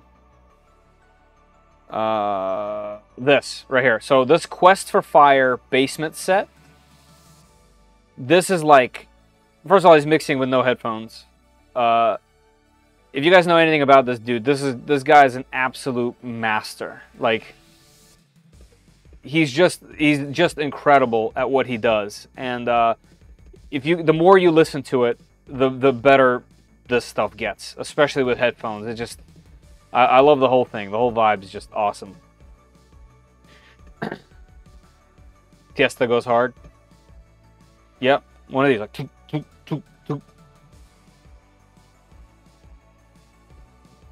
Uh, I wish they would give an option to go fully wireless touchpad. Didn't someone do that? I think someone just recently did that, didn't they? It has some some amount of battery life when you remove it from the thing. Uh, I don't remember who did it, but it wasn't it wasn't a printer manufacturer. I think it was a third party. I don't know who Teenage Bottle Rocket is. I gotta check that out, Tiger. No Tool. Uh, my all my buddies listen to Tool. Uh, somehow I've escaped uh, onto the sides of Tool. Uh, they, have seen them live. Uh, I just, for some reason, no. I think when everyone was listening to Tool, I was into Rammstein, and uh, for many ages, I've seen I've seen Rammstein twice as well. Um, yeah, yeah. I, I, don't, I don't know. I don't know what it was about Tool that never kind of took me in. I understand why people really like them, um, as in like Maynard. Uh, I I get it. I just I don't know. Not for me.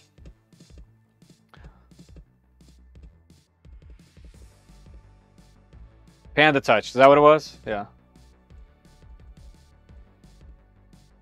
Yeah, like clearly, like first of all, Big Tree Tech's constantly pushing. Like they're constantly pushing all this new stuff. It's it's really fantastic, and I think I think uh, it'll catch on. That type of stuff will catch on for sure.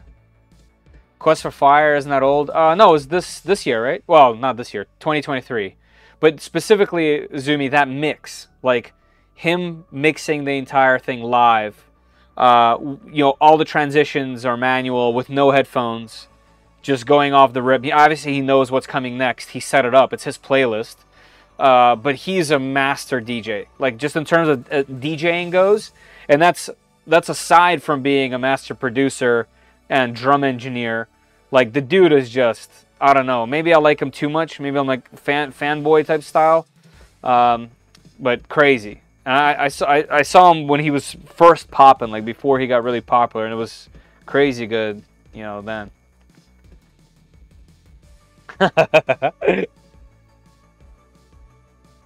Quest for Fire, the movie. Oh, okay. I don't know about the movie. No, no, no. No movie. I don't know about the movie. No, no, no. I actually didn't know that was a movie. Uh, considering I was born in 87, I wouldn't know that one. Mein Brent, yes. Yeah, it's a good, good classic right there. Um, yeah, Rammstein, uh, huge fan. I remember actually one of my projects back in high school. Uh, it was I think it was like a design pro. Oh no, it wasn't in high school. It was early college. I made made a DVD. Like we were supposed to make a DVD, and we made a, it was a it was a uh, um, uh, partner project, and we made uh, I think it was Rosenrot, the album. Uh, Rosenrot uh, was was that Rosenrot was the one with the um, with the submarine, right? I think we made that entire uh, what's it called? Not playlist, but like we made a DVD menu based off Rosenrot, and like we used a bunch of their art and did, did our own, and it was like you were in a submarine. There was all these menu things. It was cool. It, I actually should dig that up somehow. I actually don't know how I would. Yeah, nothing, man. That dude is crazy. Like, credit where credit is due. Uh, he's on a whole different level than most. There, I think there's only a few. Like, a, a lot of people mention Aphex Twin, which is you know the, one of the earlier uh, earlier guys, and he's uh, Sonny.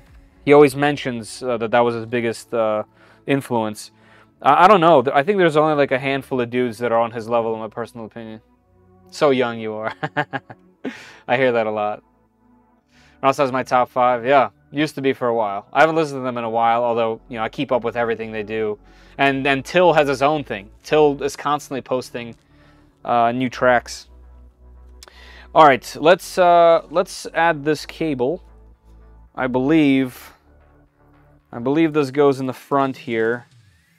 I really hope that one clip is for this because this this uh, this is to be a big floppy mess over here. Oh yeah, that's awesome. You guys see that? Can I just move, just move my pinky? That's great.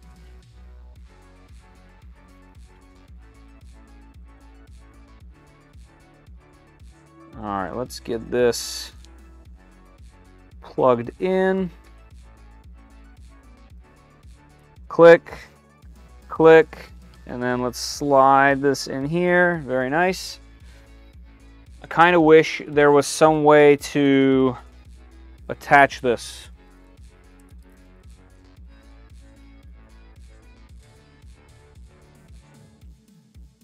And I guess you can't. I guess you couldn't attach this. This you could. Okay, I guarantee you that's what this is for. And I guess it's finally that time to look at this manual. I just want to see where you attach that cable. Aha! Oh, cool. Okay. This goes back here.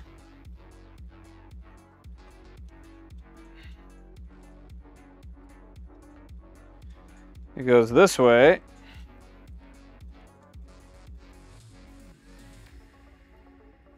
And come on.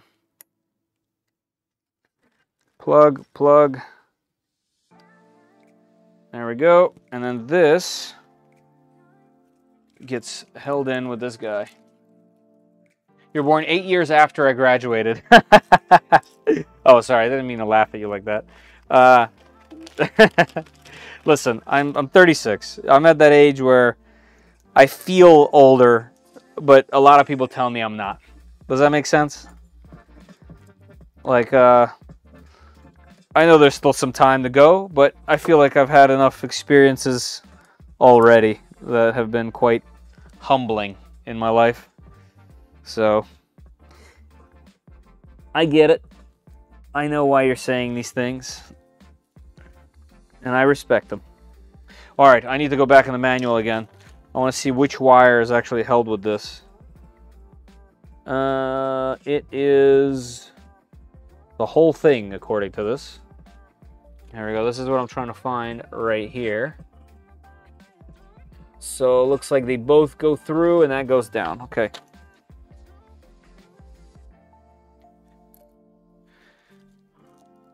So we will get this in there like that. Oh, and this goes down, right? Like that.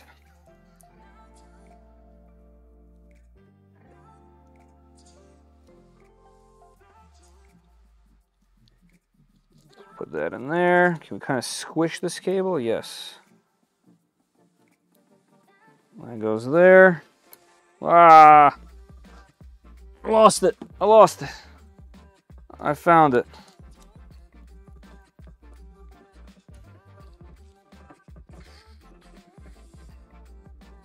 Okay, there we go. Got it. User directions. Unsubscribe. ah. My kids are Fedor's age. Hey, you know what? You know what? An old dog can learn some new tricks sometimes. Also, you know, I have great respect for my elders. And I would never disrespect you based on your age, sir. Or ma'am. And I hope I pass that on to my offspring. Uh, Jake, no, we don't. Uh, I have a I have a general idea based on some other stuff I saw online, uh, but uh, this is going to be available on the 20th, so we don't have the clear uh, price for that just yet. Um, however, I suspect it's going to compete with everything in this price range. I know that's not very helpful, but it's true. All right, let's see if I can get this to reach. It looks like I can't. How much further can I go? This has to go underneath for it to reach. Let's see. Okay, I can do it. All right, we're plugged in. Uh, let's see. Did we end up using this? No. Can this go in here? No. Can this go in the bottom? No. Okay, so this this little PTFE tube uh, that came with this is for the inside of the hot end. Speaking of the hot end, we didn't go into there yet. So that's what we're going to do. Uh, let's put that off to the side. We don't need any of this stuff anymore. Uh, this goes here. We are to need this USB stick, I'm guessing. Let's put that in there just so that we know. Uh, power cable, I'll throw over there because I'm to need it later. Let's do a little bit of a cleanup real quick since assembly is done. Uh, okay. Let's do the bed. Uh, let's take a look, actually, before I do that. Let's take a look into the hot end. And for this, we can use the smaller Hoto. Hey Fedor, I found your channel by watching Adventure 5M unboxing while waiting for mine to arrive. Since getting it, uh, getting it, have you used it much, and what are your thoughts on it? Yeah, I have. Uh, I definitely have been using it. So it's one of those things where if I need something really fast and I don't want to fiddle with anything, like I don't care about the settings, it just needs to be printed, I have found that that machine in that specific instance is really reliable. Uh, I still use their slicer uh, because we're still all waiting for the open source. Obviously, they say that they've open sourced it, and technically speaking, they did release their firmware, but they did not give us any access to the software itself. Uh, so we still don't have SSH. We can't get Fluidd. Well, even if we can get Fluidd, we can't get it, uh, the Wi-Fi feature to work with Orca, even though the printer is in Orca, and you can definitely get the files from Orca. I want it to be wireless. So I'm waiting to give a better evaluation once they fully uh, actually open source the machine, because my opinion on that is they've taken an open source project and are making money off of it without it being actually open sourced and available to us. And I don't like that. But otherwise, the machine itself, mechanically, it's back here, really good. Um, I, I recommend it. I'm a fan. It's very easy to use. Uh, the quality is good. Uh, they've improved it with time with uh, firmware. Like it's just gotten better. So I'm definitely digging it. Uh, two screws and this thing comes off, which is nice. They didn't make that a hassle. Yep, we got a 5015 fan in here, but it's the the Bambu style where the not the opening is larger, so that's worth noting. Holy heatsink, Batman. Check that heatsink out. Uh, let's get closer into here. All right, so when I made that prediction that this thing was going to be a Bambu clone on the bottom, that's partially correct. That is a Bambu style uh, block, which I guess uh, explains uh, explains the nozzle. Uh, this has, I guess that's a 30 mil fan. Yeah, that's a 30 mil fan. That is quite the heatsink. That's substantial. Uh, this extruder is very interesting. There is a hole here on the side. And if I knew any better, I would say that you could put a cutting tool in here later on. I know this is to be sideways. Here, let me try to do it correctly. Well, wire won't reach. Alright, might be hard to see on the screen. But you guys see this opening? This opening has a line through it where it goes to that. So I'm guessing later on that could be used for some kind of tool uh, to cut filament. Um, nice and smooth in there. Yeah, has a nice little sister board. This heatsink is crazy talk. Like, this is a, a monster heatsink. Uh, so yeah, that's not cloned from, from a Bambu at all, but the block definitely looks, oh yeah, okay, that's a clone. Uh, yeah, that's definitely a clone. It's got the little heater on the side. Yeah, so that explains the funky nozzle. Okay, that's fine. At least we know it will work. Uh, and what is this little guy? Is that an LED? Maybe that's a little LED, we'll find out. Yeah, okay, this is pretty good. Very simple setup, very straightforward. I like that they didn't hide it too much. It's very easy to get in there. Look at that, so easy to put back on. There's no crazy clips, uh, no nonsense. That's good. Like I said, uh, so far everything is aligning with I dig what they're doing and I like the little bits of uh, little bits of differences here because that means they didn't just you know copy and paste. This is this is their own stuff, which is nice. What's going on here?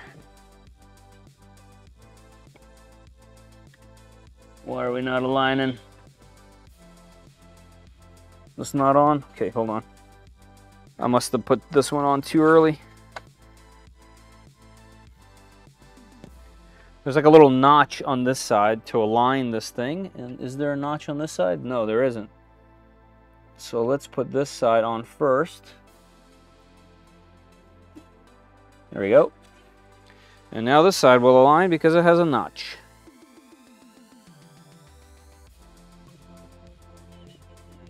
Yep, Okay, so left side first. And this is so smooth that it's crazy. Can you guys see this? How's the tension? Tension's good too. It's nice.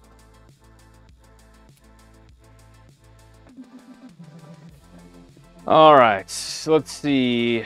NEMA 17 or 14? Uh, on the bed, it's the larger one. 17. The rest are all 14s. And this is a, what's this thing called? 36 or something? Someone else. Nice name. So excited of a new wave of 2024 printers, my 3 mega. yeah, there's uh, there's an amazing amount of new machines coming out. I have the X1 V4. Fernando, nice. Old school, baby. What about the nozzle? Is it a volcano? I showed it earlier. It's the same size as a volcano. It might be a little bit different, but it is some kind of proprietary looking nozzle. Like just the shape, uh, the hexagon shape uh, is very small. I think it might be a Bambu style nozzle, if that makes sense. From Magnum Pro. Okay, Jake. Yeah, quadruple my Prince. Yeah, for sure. Yeah. Yeah. Oh, it's easy, big fat finger. That's right. That's right. There's an unalive body. Yeah, there is. There is a few unaliveness behind me back there. Nice. That's gonna be good. That's gonna be good, Zoomy. 14 is smaller. Then yeah, the 14 is the smaller one. Starting a stream, maybe best you clean up. The nice. We have printed a custom fan, but yeah, yeah, for sure. Um, I used to design a few myself for the Aquila. Um, yeah, I wouldn't do a resistor. There's these uh, buck converters. They're very inexpensive. They're also called step-down converters. Very easy to mount elsewhere, closer to the board. Uh, that way you don't have to run, uh, you don't have to put it up top somewhere. But then you can manually reduce from 24 to 12. But also, just get a 24 volt fan. Uh, definitely don't, you know, don't buy 12 volt fans or 5 volt fans for 3D printing. There's plenty of options in 24, uh, and they're, they're really good fans. Uh, GDS Time is one, Zach. GDS Time, that's, uh, that's what you want. Nice. That's that's a long time. I've been in it for I guess about six years now. So that's you know almost double. That's that's awesome. You've been definitely you've been definitely at it. Actually, uh, you might really like the ANET A8 um, that I have waiting to be put together um, for the past like three months now. Okay, I think this thing is ready to go. Let's chug that. One thing I did want to see is uh, before the stream uh, started, I did have this finish in the K1 Max.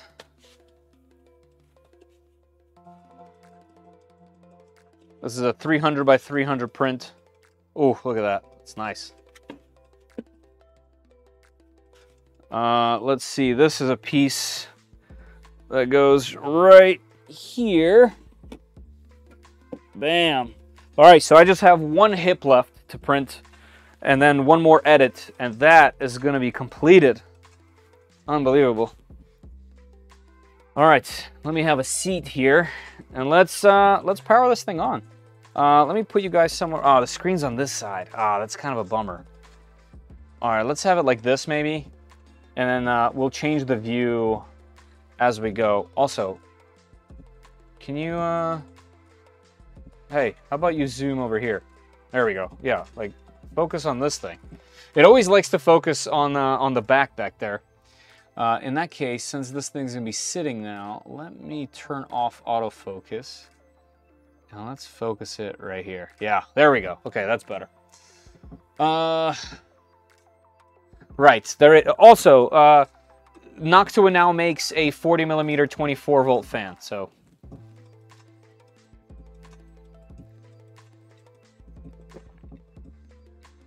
Cool print. What about the speed for PLA? Uh, on which machine? This machine? This machine is apparently saying it can go, uh, what is it, 500, 600 millimeters per second. I doubt it's going to go that fast, but uh, it'll probably do 300 if you really wanted it to. I'm just worried about the size of the bed slinging, you know. Uh, but uh, you know, we'll see. We'll see. We'll see how it does. Okay, let's uh, let me take this off the screen. Put it down here let me get the leveling paper and let's uh, let's hit the power button. All right, we got the artillery logo. You guys can see this, right? Yep. Whoa! Super bright LEDs. That's very, very bright. They are the, uh, uh, the, what's it called? The, uh, um, what are the LEDs closed that are really close together? What are they called that are really close together? Neopixels. Neopixel LEDs. That is a big bet for those speeds. Yes, it is. the cover Flying Bear. yeah, I like that cover. Is the beanie, the classic uh, Flying Bear beanie. Yes. Yes. That's true. All right, so we do have a little LED on the bottom, as you guys can see. Uh, it does give off some kind of funky green lighting as well. Is that like a reflection from the PCB or something? Uh, but that's okay. Uh, whether to enter the boot interface is what we're, we're told. Whether to enter the boot interface is fun. Um, yes. Self-check, XY detection. Okay, that's good. Uh, click the cancel button and the machine will restart. I'm not going to do that. So it says 1 out of 6. So it moved the X, it moved the Y, and now I'm guessing it's going to do the Z. Yep. It did the Z. The nozzle is very close, but not actually touching. I do like that the both the intake right here and the exhaust have openings. I've seen some machines come out lately, some uh, that don't have openings for the air, which is mind-boggling. Now it says nozzle heating detection and I can instantly smell it. Uh, there is a fan running now that I can feel and that's that's that motherboard fan. That motherboard fan is, I'm not to say it's loud, but it's one of those big boy fans.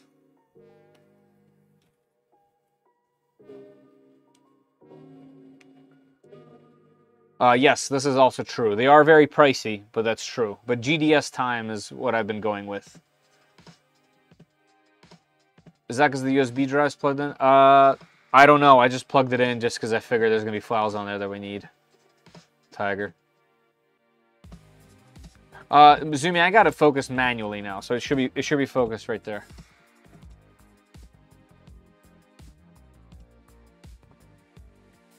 Uh, what's better, Artillery, Anycubic Creality, or Elegoo FDM? Seems Anycube's garbage. It might. It depends on what you're looking for specifically. At the moment, I don't think there's anything real out of these brands that's touching the K1 and the K1 Max. Uh, I think those are kind of like up there at the moment, but that's the only Core XY out of these brands. So now you're talking Artillery, Anycubic, and Elegoo. Uh, Elegoo has some quality stuff. I love the, what they're doing with Klipper and kind of like adding everything onto their machine. I do kind of like, at least at, glan at a glance, the slight, I don't want to say innovations, but the slight tweaks on things that this machine has. Um, I don't have any Anycubic machines, so I can't say. Uh, so out of those that you listed, I would say Creality probably. Uh, because they're new machines, especially like the CR10 SE, uh, even the, the Ender 3 SE for a super budget option. Uh, and then the K1 series. I mean, they're and the K1C that just came out. I've really been enjoying right here. Um, I don't know. I think it's it depends on the price and what you actually need to print. If you don't need an enclosed machine, if you're just gonna stick to PLA, I, I doubt the K series makes much sense because you don't need to like spend extra money on an enclosed machine if you're not gonna print ABS or ASA, you know? Given how affordable XY is becoming, do you think there'll be a place for bed slingers in a couple years? I think there will always be a, a place for bed slingers because they're so simple.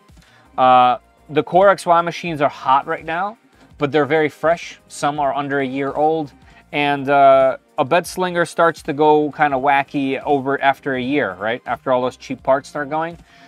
The Core XY machines that are coming out, they're made of the same parts. So they're going to start going bad and people are going to realize that they're hard to work on. They're tougher to work on. Uh, there's a lot more parts to them. Uh, and a bed slinger is cheap, very simple, uh, very easy to work on. So I think for certain applications and for people that don't need an enclosed machine, I think bed slingers, because of their price point, are going to be relative, rel not relative, but uh, they're going to be, they're going to be, um, they're going to be good for a while. GDS time is what I used to. Yeah, even on my Vorons. Honestly, I didn't even know. yeah, man, absolutely, dude. Ask, ask anytime, man. You guys, like I said, if you guys can find me on, uh, on Discord or um, if you're a YouTube member or Patreon, you can always uh, message me directly. Hey, Mike Jones, haven't seen you in a minute. How you been, man? Uh, how would you compare the the the 5M? So uh, they're actually really close, except for the 5M doesn't have an enclosure. Uh, the K1 has that bit of quality with the front glass and just the nice tight package. It looks better. I know that doesn't mean anything, but it just does. The the 5M is like raw. It doesn't have anything. It doesn't even have finished sides, you know? Uh, yes, you can print them, but then again, you have printed sides. So now we're talking 5M, 5M Pro versus the K1. That's probably much more close uh, in a comparison.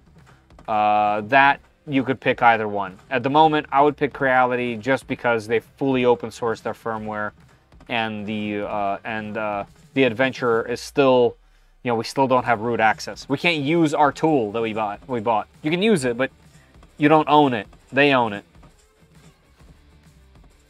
I bought recently K1 Max because the Country Bambu P1P is three times more expensive than this one. Yeah, K1 Max is good. I love mine right there. In fact, all this stuff that's printed behind me that's giant and all of those spools have been printed on the K1 Max. Enclosed, I would look at Qidi. Yes. Uh, let's see where we're at here. Uh, wait for the nozzle temperature to heat to 210. Okay, it is. And start adjusting and start adjusting the nozzle temperature. I mean, it's there. Let's hit next step. In order to ensure the accuracy of the model, the system will carry out manual leveling. Okay? Next step. Please make sure there's no sundries in the nozzle. Yo. I like that text.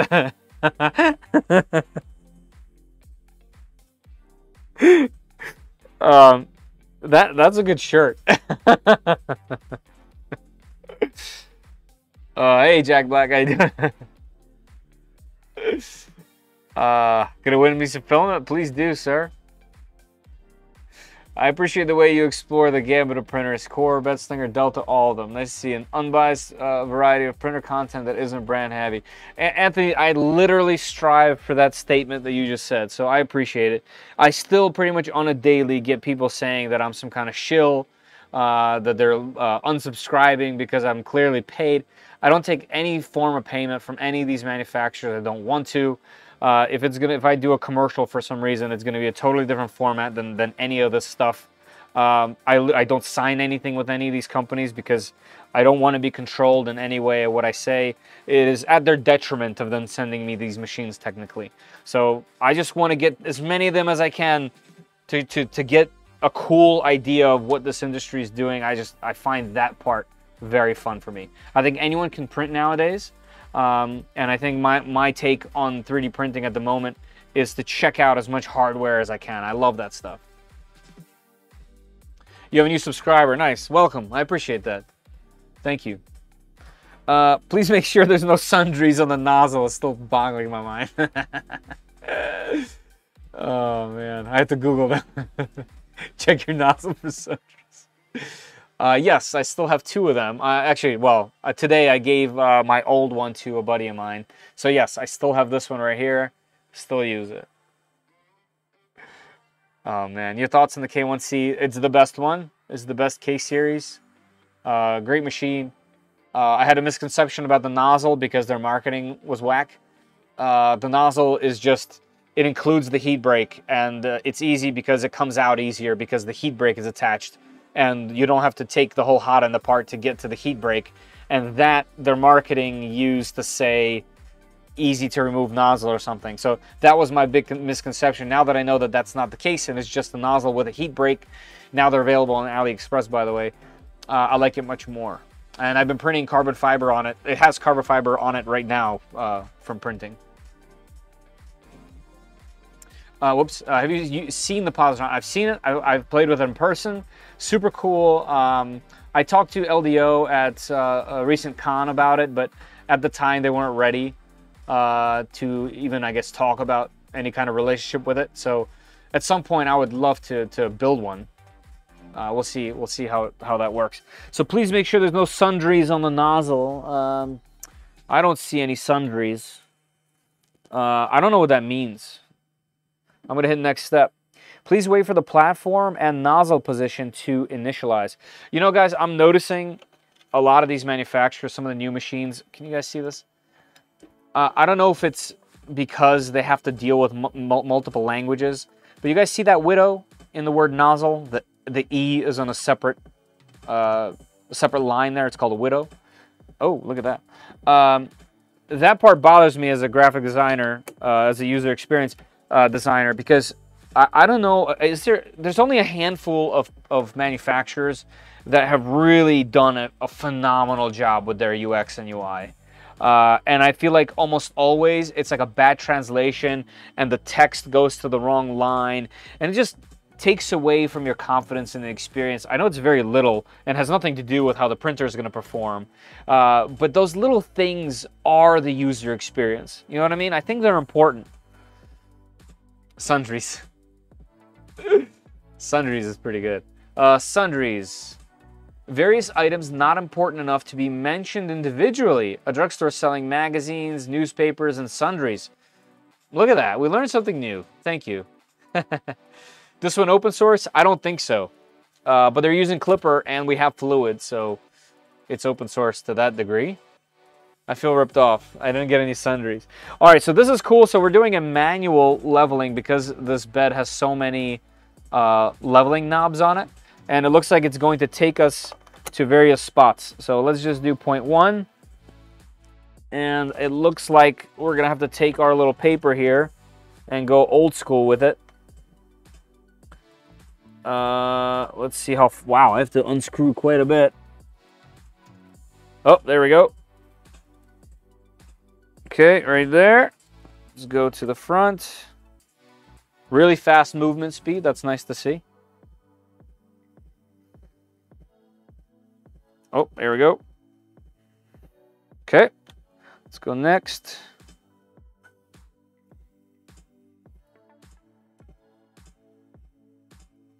Kind of interesting that there's six of these things. Okay, that's good there. Let's go here.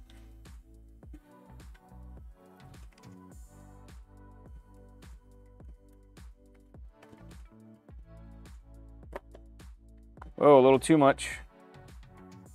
Right there. Let's go to the back. Oh, wrong one. I wanted this one. Whoa, so fast. The movement speed's actually pretty fast. Oh, here we go. Okay, right here. Now let's go to, where are we at? This one?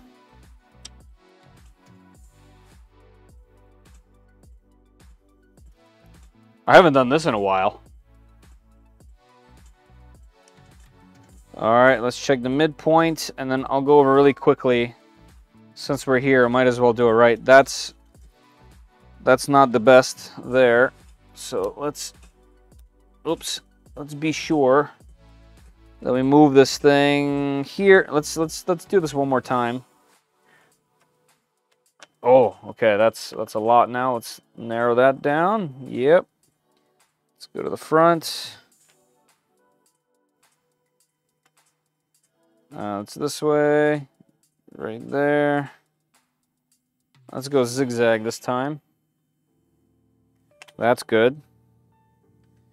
0.4. That's good. 0.5. That's good. 0.6. Aha, culprit. Right here, boom. Okay, got it. All right, let's see what the middle point looks now. Looks like now. Okay, nothing there, but the rest will have to be taken care of by the leveling sensor. Let's go ahead and hit next step. In order to ensure the accuracy of the model, uh, the system will automatically level. All right. Uh, make sure there's no sundries on the nozzle. Fantastic. Let me see if I can have time to push this thing back some.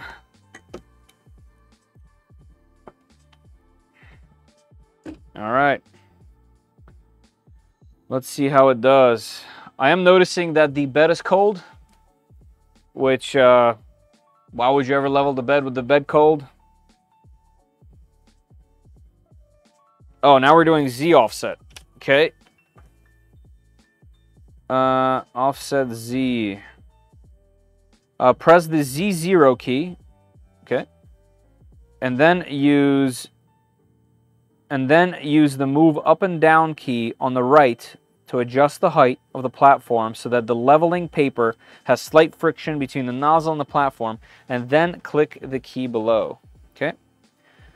Uh, let's do this. Let's move down, down, down, down, down, down. Aha! Up, up. Here we go. Let's go a little bit less now, and then let's come down until we have some friction. All right, there we go. That should be good right there. Okay, let's hit next. Oh, save. Let's hit save. Saving. Since this is Klipper, technically this thing should reboot, and I think it did. I think everything turned off, which means it's gonna it's gonna save that Z offset to uh, to Klipper. Wow, okay, and it turned on right back to where it was. So definitely custom Klipper interface here. Uh, next step. Oh, it's saving again anyway, okay. Uh, hardened rails or soft wheels? Hardened rails everywhere. Uh, oh, except for the Z. Old school leveling, yeah, right? Shouldn't it say automatic tram? Um, I guess, but nothing, nothing has been automatic so far. Uh, what's it doing now? Uh, collecting 121 compensation values. Please wait. So it's heating to bed to 60. Okay, so there you go. So, okay, so manual leveling was cold. And now it's to heat up to 150 on the hot end, which is perfect. And 60 on the bed. Um, okay, okay. Yeah, I was, Jesper, as you saw, I was also disappointed. But it looks like it's going to make a bed mesh with it hot uh, so I'm guessing they're trying to keep it safe. Uh, and technically, getting it close enough with the wheels is is okay. That's not that's not too bad. I kind of thought the entire process was about to be cold, uh, but no, it's it's heating.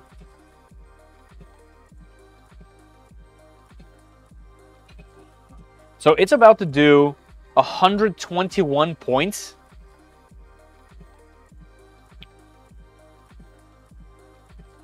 Where was that one picture?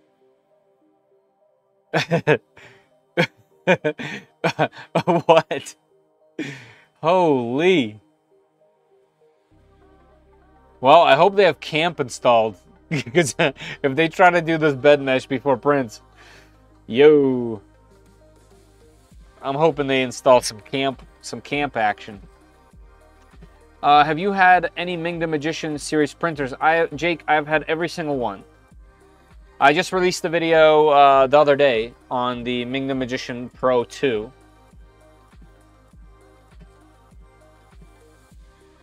It's kind of rem reminiscent of a Creality Ender machine. Kind of looks like auto level a similar way. Appears faster, looks pretty stable.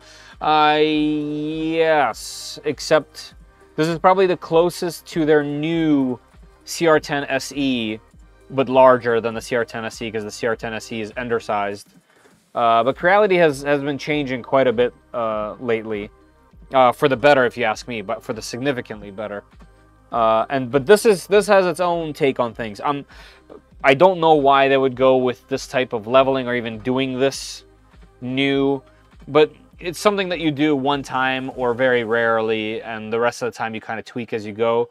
As long as this thing has consistent first layer, I can't hate on any of it. Uh, so far, I'm cautious about that leveling sensor, uh, but so far I like a lot of it. I like a lot of it. Uh, does the paper fit into here? Oh, yeah the paper fits. I know that's not important for everybody, for most folks, but having that paper right there is actually pretty clutch. I'm gonna put the other one in there too. Yeah, I like that. That's cool. I don't know if they, they thought about that or what, but that's nice. Imagine having to do that. Yeah, I, I really, really hope not. Yeah, yeah. KAMP, KAMP is is the you know this is Klipper. We're we're installing KAMP if it's in there. If it's not in there, really. Also, it's not necessarily a negative thing, right? Uh, you know, most machines want to do one bed leveling and then not bed level uh, so that it's faster to operate. Uh, in my opinion, it's better to do a small level around the area you need to print before every print. It just makes the prints reliable, uh, more reliable, so we'll see. Guys, while we're just sitting here waiting for this thing, uh, don't forget that there's a pinned comment at the top of the chat uh, where I give away a spool of PLA Plus from IIIDMAX. Let's see how many people have entered. Only 46 people are in it, so a really good chance of you winning a spool of filament. Uh, you know, literally, I get nothing out of it. This is just from from me to you. This is from IIIDMAX, them sending you a spool of, of free PLA Plus. So go ahead and enter. Uh, I just love to be able to get the chance to do this kind of thing. Like it's it's really cool to me that if someone watches my stream this company is willing to send them a free spool of filament. Like that's amazing to me. So just fill that out. If you're in the US, if you're gonna stick around 49 more minutes at least, you know, give it a go. Also, uh, check out uh, shop at 3dprintsos.com. Uh, if you guys are into uh, some cool merch that I've been working on, I'm wearing this shirt. Uh, they're 16 bucks, so very inexpensive. If you guys want to enter the speedboat race, uh, I made this awesome logo for the speedboat race. Um, see what else we got. Uh, this is something we've all seen, I bet, if you're into 3D printing. Um, the blob, the dreaded blob. So check that out as well. Uh, there's also hoodies. You can have some of my 3D printed spaghetti. Um, and we have some cool desk mats and mugs, such as this. Cheers.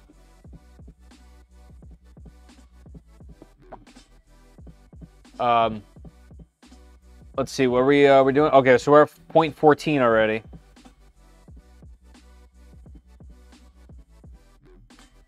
Yeah, I, I kind of want to know. I'm guessing. I'm guessing these um, those filament sensors, not filament sensors. I'm guessing those optical sensors are very inexpensive. That's why people use them. Companies use them. Um, but man, I've just, I, I like I said, I, I've never had a machine with one that does well. And every time I see it on a machine, I'm always a bit apprehensive.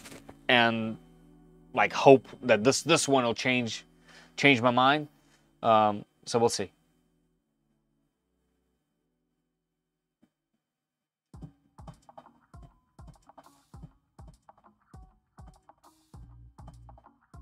Crazy not to enter the free, yeah, right?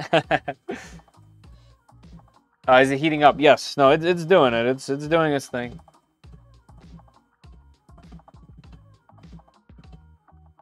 Yes, I, I agree. Um, I started with the Ender 3. That was my first machine. Uh, with the original Ender 3. Uh, that, you know, comes in a box. You have to put it together completely. Not just like this, like a full kit where you're putting extrusions together.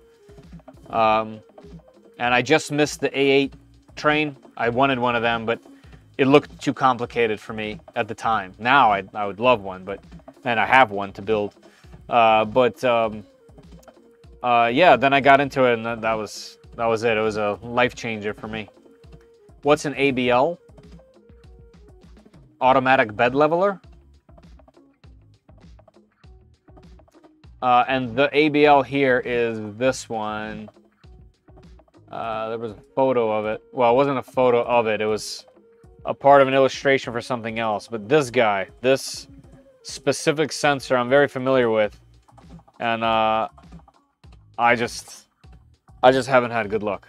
So we'll see how this bed leveling does. I'm, I'm really excited. I, I hope, I hope they kill it. Honestly, I hope they kill it. Uh, the new Qidi all ship with the optical sensor now. Yes, but it's not this optical sensor. It's a different optical sensor. I don't mind them. I, have had a bunch, like the PINDA, uh, all those type of, have been better, better than this one. This one, uh, it was used on, uh, what was that one machine? Um, Chad wanted that machine. It used to be right here somewhere. Uh, oh, my brain can't even think of the name. It was a bunch of letters and numbers by HICTOP. Uh, they use these sensors for um, for end stops, and that would have been fine because the end stops don't have to be absolutely precise. Uh, but for leveling, something about them, I don't know. Uh, like I said, hopefully I just had bad luck with it and they're fine. The most recent machine with it is uh, the Elegoo Neptune 4 Plus that I've dealt with. And uh, yeah, I, I, something about that first level, I just never got it. Never got it working well.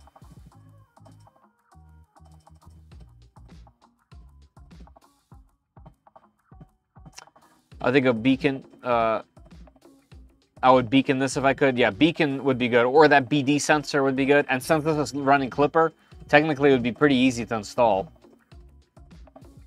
Uh, the other, the, well, it's not, it's not unfortunate, but this doesn't have a, this doesn't have a smart hot end. Like this is just a breakout board for this ribbon cable. So for a sensor like that, you would have to run a cable all the way back. Not really a problem, you just run it along this thing but it's not going to be as clean as something uh, like being able to plug in a leveling sensor to a CAN bus board, for example. Uh, but Beacon, you can't run through CAN bus. Beacon has to be separate. That's actually why I didn't put it on my Trident, even though I bought a Beacon for 70 bucks. Um, because you can't run it from the CAN bus toolhead. You'd have to run another wire, and I'm trying to minimize all the wires. But for something like this, yeah, you can do Beacon. Or Cartographer, or BD sensor. My first Ender 3 was Ender 3 Pro. Yep, Ender 3 Pro.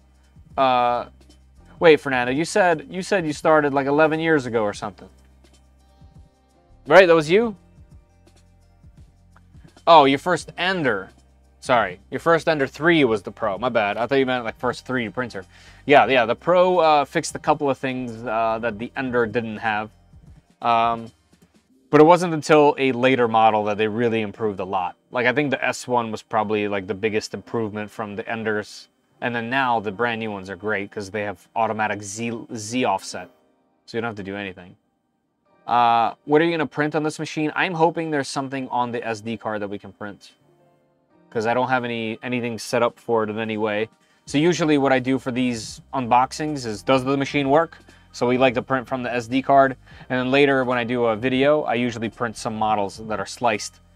Um, uh, this runs Klipper natively, Luke. It runs Klipper and Fluidd natively. So as soon as we can get this thing on Wi-Fi, after it does this, we'll have access to the front end and I'll go peek around what they have going on over there. Artillery take flat cable from the X and Y2. Um, yes. Uh, yes. Yeah, they have their own. It's not a ribbon cable. It's like encased in rubber for the Y. But yeah. KAMP should do fine. Cries in Da Vinci. Do you organize your Winamp playlists by tra track alphabetically? It does it by itself. Uh, I think it organizes it by itself alphabetically, but I have it just on random, like it's on shuffle. So it just goes, you know, through the playlist. And uh, like I mentioned before, uh, Gavin, every time I do a video, like every time, every time I edit a video, uh, I always try to find two or three more tracks on Uppbeat, which I have a lifetime subscription to, uh, so that I always add to this playlist about two or three songs every time I do a video. Uh, so that it, I mean, it's still repetitive, but uh, there's hours of of music at this point uh, in there that's available to play on my live streams without getting me copyright strikes. So that, that's why I do it. It's because I have that lifetime subscription. My channel is whitelisted uh, for for music, any music on Uppbeat.io. Uh, so anytime I just I download it and throw the MP3 into Winamp uh, so that I have it for these live streams.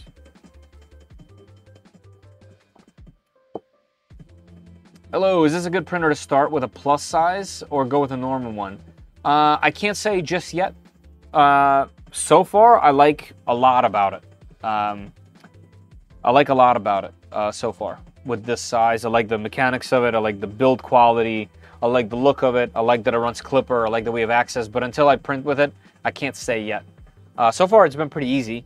Uh, you can always uh, go back once the live stream's over, or even right now if you wanted to, like just track back in a live stream and see what it was like to put together. It's one of the reasons why I do this. If someone like had a question about something specific, you can see it like live and not something structured or put together by somebody that could have some bias. Like this is us doing it now, you know? Hey gamer, how you doing? Little chicken going on there with a nice little chicken. It does. It does. Yeah, absolutely. All right, so this says auto leveling complete. So we're gonna hit next step and it's gonna do a save. So it's gonna save our bed mesh to, to Klipper, which is nice. Is the Ender 3 V3 KE a good printer? It's a great printer. Yeah, it's good. I like that one. I recommend it all the time. Uh, it's an interesting in-between. And also I did, uh, Gamer, if you have some time, I did a video recently on the channel. I think it's two videos ago. I compared the Ender 3 V3 SE the Ender 3 V3 KE, and the Ender 3 or, and the CR10 SE. Very similar machines.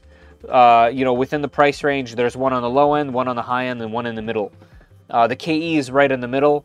Um, I do think the, the the CR10 SE is just a better machine, just because of the way it's built. But because of the budget that this thing is in, the KE is in, it's pretty good. And it's fully automated. You don't have to do anything that we just did, for example. Elite! Yes, I agree, man. I'll watch out the stream. Awesome, yeah. Uh, load consumables into feed hole and observe whether...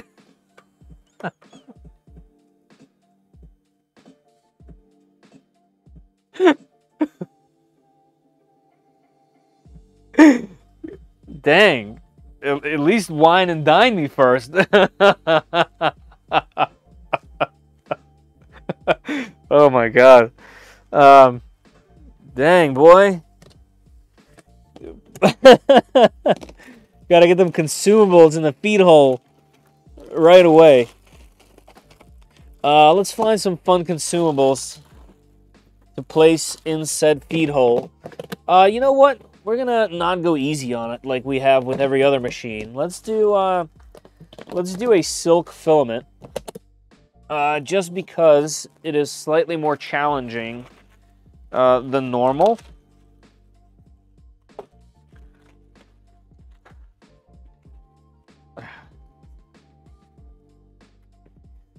Let's do it that way. Oh, where'd that piece go? I'll be sure to step on that later. All right, let's do this rainbow silk. All right, through the sensor, Uh, load consumables into feed hole. All right, let's let's load them consumables. Uh, feed hole and observe whether the tailings are extruded. If not, please click load and check. All right, we're gonna hit load. There it goes. It took those consumables.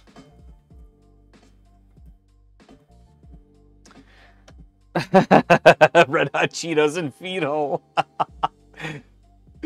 Consumables are your sundries. uh, that's another T-shirt. I'm telling you, man. Every single time we do a live stream, there's at least one or two, uh, one or two shirts that come out of it. the The first one was the spaghetti. The spaghetti was one of my favorites. I still, I still chuckle occasionally when I remember the moment. I don't remember the dude's name. It was leaving, and he said, "Okay, I'm out of here." I've eaten too much spaghetti and it blew my mind. What a way to exit. Yeah, we got sundries. And we got beetle. Creality needs to do better on the naming. I think everyone at Creality knows this. I think they found out with this launch about their own naming. There we go. We got sundries coming out of the the feed hole now. All right. So we did have some white filament in there, so that's good. I like Fluidd, how it links the detailed docs from the CFG. Wonder if it has been neutered on this. Yeah, we're gonna find out uh, as soon as I get this thing on Wi-Fi. Surprising, surprisingly, this is doing everything offline right now. Usually they want you to get on there as soon as possible, so so far so good. Uh, you know what? this is a universal thing, Zumi. How many have I unboxed that you watched that have had funky, uh, you know, things like this? I don't know why they don't just get anybody that's actually in the language that they're translating to. Uh, yeah, yeah, yeah. They, I, I think it's zero. I think it's just Google did it. Are they still doing the V3 proper? I don't know. I'm gonna unbox one on the 19th. I was technically so as far as the, the, the Ender goes, uh, the Ender 3 V3. I was supposed to do a full video on it, uh, but I'm not going to. I'm going to do an unboxing live with you guys when it's launched. Uh, I find that to be more fun, and then I'll do it. Um, I don't like to do a video upon release because everyone's going to do that. It's going to get lost in translation anyway. I'd rather do it live. You guys can watch, if you guys want to watch like a video, everyone's going to do that, and uh, it'll be slightly more tailored and I'll stick to the to the let's hang out situation. Linus the Bastard Cat. That's a good good name. Now I need another printer, uh, but this section looks half decent for bed slinger. Yeah, I don't know how much. Um, I, I, don't know how much Linus. Uh, this this machine's gonna be released on the 20th, uh, so I don't know. So feed the printer, watch it poop. Got it. That's true. Another shirt. I do it live. That's true. That's actually, that's actually, we've gotten like three shirts out of this stream. I dig it. Sundries. ah, that's hot. All right, next step. Please insert memory card or U-disk. All right, cool. We got that. I wonder if this is set up in Klipper in the same way where the memory is actually really limited on the machine, and this is the way that they do the file management. Qidi Tech does it this way, a couple other ones do it that way. Oh, that LED has color. Uh, that LED is red now. So I'm guessing it has LED effects from Klipper and it's uh, using the uh, heated... Oh, it's doing a nozzle cleaning. Cool, you guys seeing this? Yeah. Okay, so it just did a full nozzle cleaning. Okay. Please insert memory card. Yep, did it. Finish. Hey, look at that. Okay, we have a new screen to look at.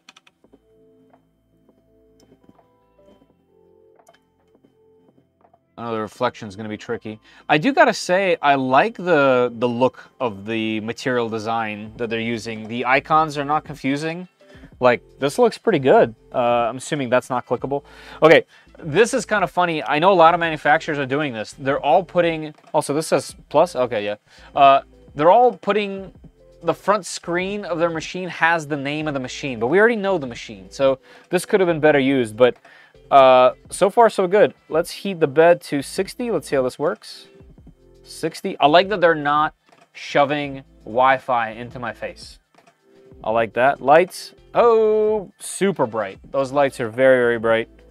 Uh, fan, let's keep this at 150 so that it heats up faster when we're ready. All right, let's go to uh, tool. Okay, so we got language. We got Dutch, Chinese, and English. We're fine in English. Let's see what serve means. With regard to sale, okay, so just saying their, their stuff. Restart, should I click it? System's normal, okay. About, power on guide. There's no update currently, right, because it's not on Wi-Fi. Uh, let's go to settings. So we got just typical movement, uh, loading and unloading a filament. Yep, that's nice. Okay, pretty self-explanatory. Oh, you guys can't really see this. Hold on, my bad, guys. My bad. Hold on. Okay, hold on. I can fix this. I can fix this. Let's go to image. Oh, yeah, here we go. Okay. All right, my bad. I'll go back. I want you guys to see this. So, home, typical stuff, heating, very cool. Lights, lights, lights. lights no longer works. Are we frozen? That's weird. Well, it worked a second ago, so that's fun. All right, let's keep going, I guess. Tool, we got language. I don't know what serve means. Restart says the system's fine. Here is some about information. We go to settings, we got typical movement stuff. We got load and unload. Refueling. Sometimes you just got to refuel when uh, when you put filament when you put sundries into the feed hole you got to click that. Unload feed. I mean this is pretty self-explanatory which is nice. So we got 100 mil. Yeah that's all good. Uh, cal i'm guessing calibration auto leveling. Oh resonance compensation. We got to do that. Let's do it. Uh, x compensation y compensation. That's cool. So a lot of bed slingers that are running Klipper do not have y compensation. They're not they don't have a sensor in the bed uh, so interesting to see this. I'm going to do it. Can I not click this? Can I not click any of it? Oh, that's a button. Okay. So apparently, maybe I'm clicking too much. Maybe I like got big fingers or something. Nothing. X-axis resonance compensation activated? Question mark? I don't know. Can I click anything? No. Okay. Cool. It looks good. Well, it looks like looks like it could use an update. Um. Oh, now things are glowing. Okay, so I think I might have just clicked too much and maybe maybe found some kind of bug in this thing.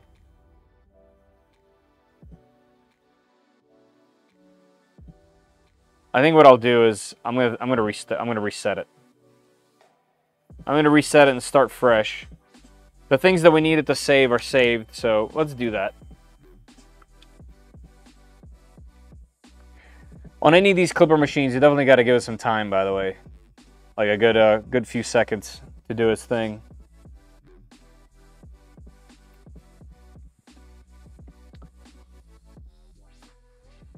With VTech. Too much bezel on that controller? Yeah, there is quite a bit of bezel in it. But does it catch fire? I don't know. We're going to find out. yes, yes. RC cars you have to chase behind. Uh, do you think Creality multicolor printing is coming soon? Yes.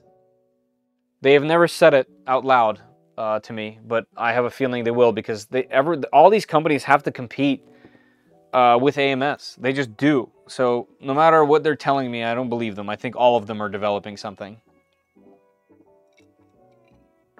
Yeah, these screens all suck. Yeah. I've been telling companies the entire time uh, that we all want raw KlipperScreen. We don't want this. All right, let's try this again. Uh, we're going to go 60 on the bed. 150 on the hot end. I know we're just doing resonance, but I like these things to be hot. We're going to settings. We're going to go to calibration. Resonance. Let's do Y. I'm mostly interested in Y. Do you start Y resonance compensation? I do start. Resonance compensation in progress. Please wait. This is cool. This is cool. Um, I can dig this. Like I said, I know firsthand uh, from all of the Klipper machines that I think I have that are bed slingers. I don't think any of them have a Y sensor in them. So this is cool. Even, even though they do a Y compensation, they don't actually apply anything. So, yeah, input shaping, yeah.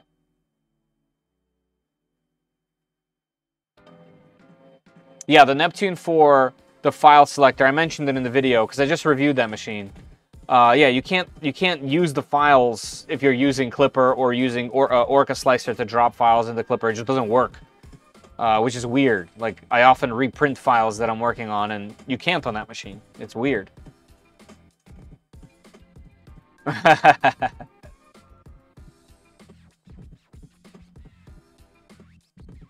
Frozen's coming out with AMS, but they haven't come out. So yeah, right.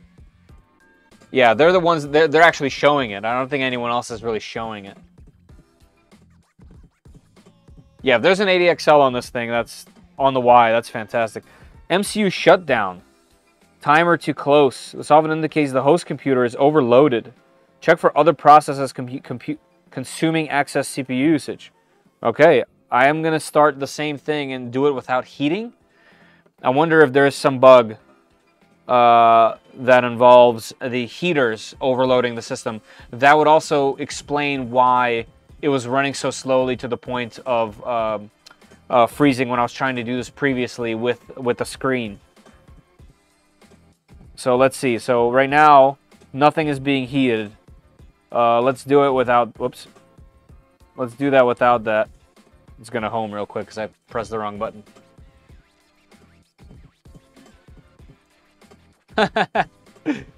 All downhill since Endgame. Stream over, he broke it. Did I break it? Maybe. All right, let's see. These are all real experiences, though. Like, you know what I mean? All right, resonance, compensation. So now nothing is heated. Nothing can be overloading it. Let's hit Y. Also, go to find out that it needs like an external sensor. That would be hilarious. Like, why have it here and actually do it? You know what I mean? That could be a thing as well. Like the KE, for example, they want you to put on a different sensor.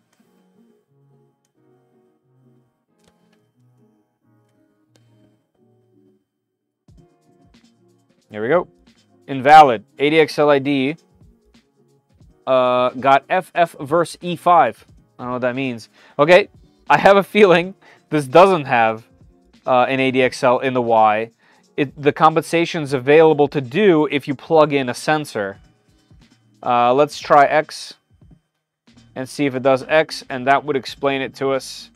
Another way to know is to obviously get to the Fluidd front end. We'd know right away from there too, so I'll do that next. Uh, what time we got? 11.35. Oh, man. Uh, so it's under 30 minutes to get into the giveaway for the filament. So you guys check out that link in the very top of the chat. It's pinned. Uh, if you guys are going to stick around till around 12 or a little bit past 12. Uh, invalid. Okay, so I think this thing doesn't have an ADXL. Uh, and it needs an external one, which would explain all of this.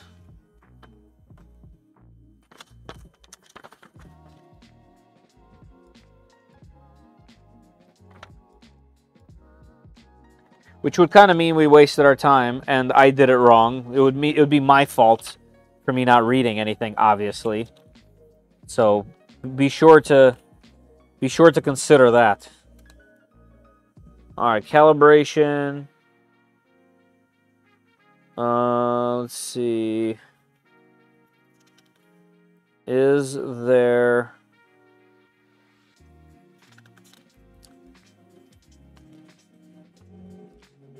Uh, equipment interface, manual leveling. Nothing for resonance compensation in here. I see the button, but they don't go into it. Printing for the first time. Oh, they have an artillery slicer, looks like. Uh, okay, okay, okay. This is how to get into Fluidd, how to put the sensor, I mean, a uh, filament in, how to clean the bed. Okay, so there is, okay, there's nothing in here about having an ADXL. So therefore, I just went into it because it's available in the front end. However, this is for an external sensor, uh, and we do not have one. In fact, uh, here's further proving that it's my fault. The photo has a sensor plugged into the USB-C and plugged right there. And here it has a sensor plugged in to the front onto the side. So my fault for not knowing that. I just was kind of digging around, uh, clicking through everything and exploring on my end. So that's on me. That's on me, everybody. Let me go back to home. Uh, let's heat this thing. So my bad on the delay. I guess that kind of delayed us a bit, huh? Like 20 minutes into being able to print. I'm going to hit net. I'm going to add in my network uh, so that we can get into the front end of this thing. So let's see how easy that is to do. Tiny, tiny, tiny text. Like, that's too small. I can't even hit it.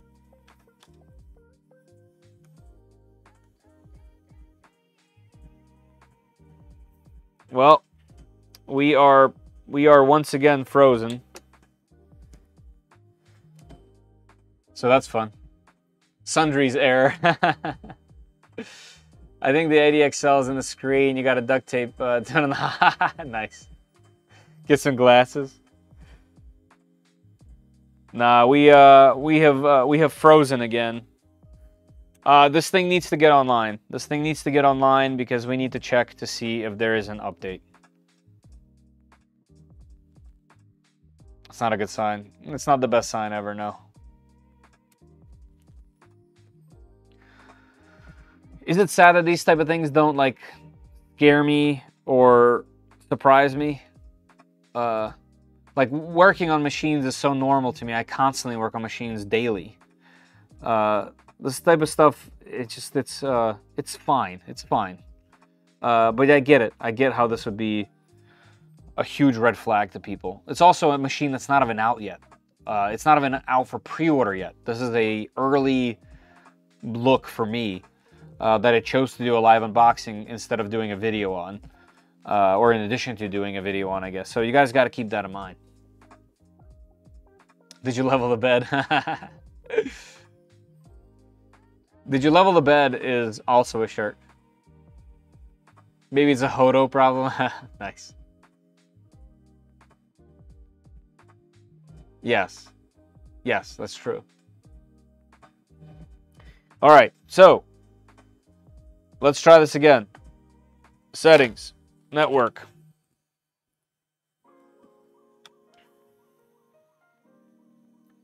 Click tiny text. Click wrong button. Click back. Click tiny text again. Click here, okay? Click, oh man, this the tiny, tiny text.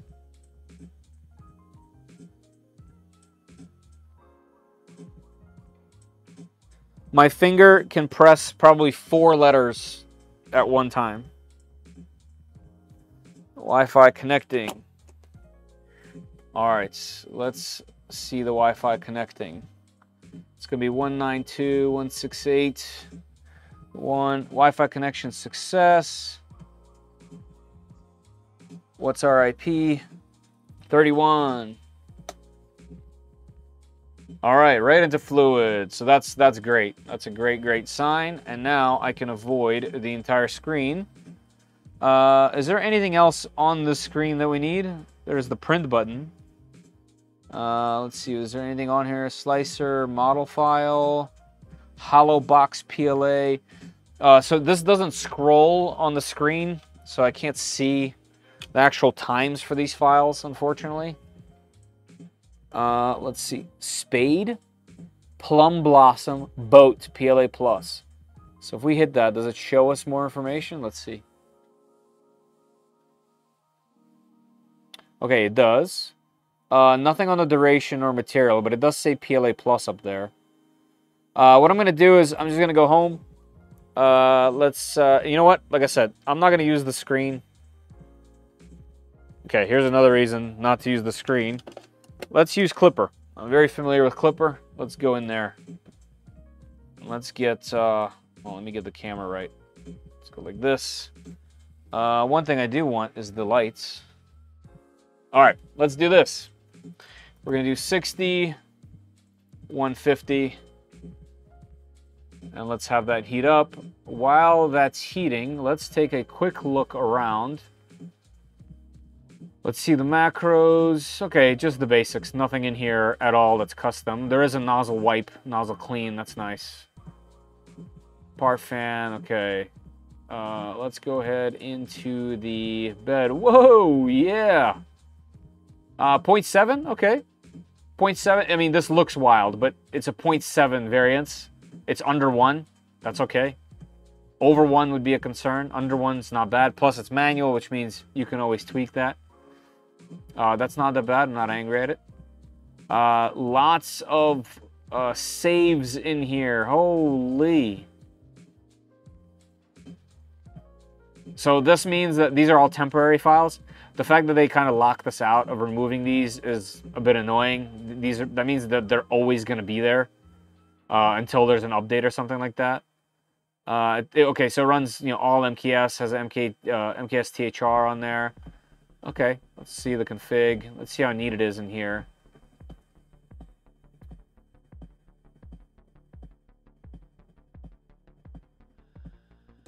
Okay, save home it uses, verify heater extruder. There any macros in here? Plumbing and gantry routines, okay. A lot of commented out stuff. Mode lights. Macro for the nozzle wipe, okay, that's good. Print end, print start, very basic. Save variable, clear, okay. Save last file, all right. So pretty basic stuff. Uh, so it doesn't do any kind of special print start stuff. It just kind of does does the basics, which is not necessarily bad. Yeah, some NeoPixel stuff. Yeah, here's the yeah, cool. So that little light actually does have an effect. Okay, these are the points. Yeah, the custom moves on the screen. They're done through macros. So those buttons are just literally, you're just clicking the macros to move the bed around. This is good. All right, here, this is what I wanted to see. I wanted to see their config. So they PID tuned it out of the out, out of the factory here. We did a Z offset, so that's our Z offset. This is the mesh that we set. Holy moly, that's a million points. Uh, tension, I guess that's for the bed. And it has an input shaper in here, uh, which is good. But it's not something that we can do. I mean, we'd have to buy a USB-C uh, shaper. I have, I do have a USB USB one, but um, that we can plug in later. But I'm not gonna mess with it for today. So yeah, not bad. There's nothing tricky in here, and it's totally alterable in some way, shape, or form. Since it uses MKS, I'm assuming we can get into the uh, SSH. Uh, do you guys remember the the command for MKS? Um, let's see if I can remember it. It's not pi. I think it's MKS, isn't it? Uh, let's see. Anyone in the chat remember SSH MKS board? Because if we can SSH, that would be great. It's MakerBase, right? Uh, login is MKS.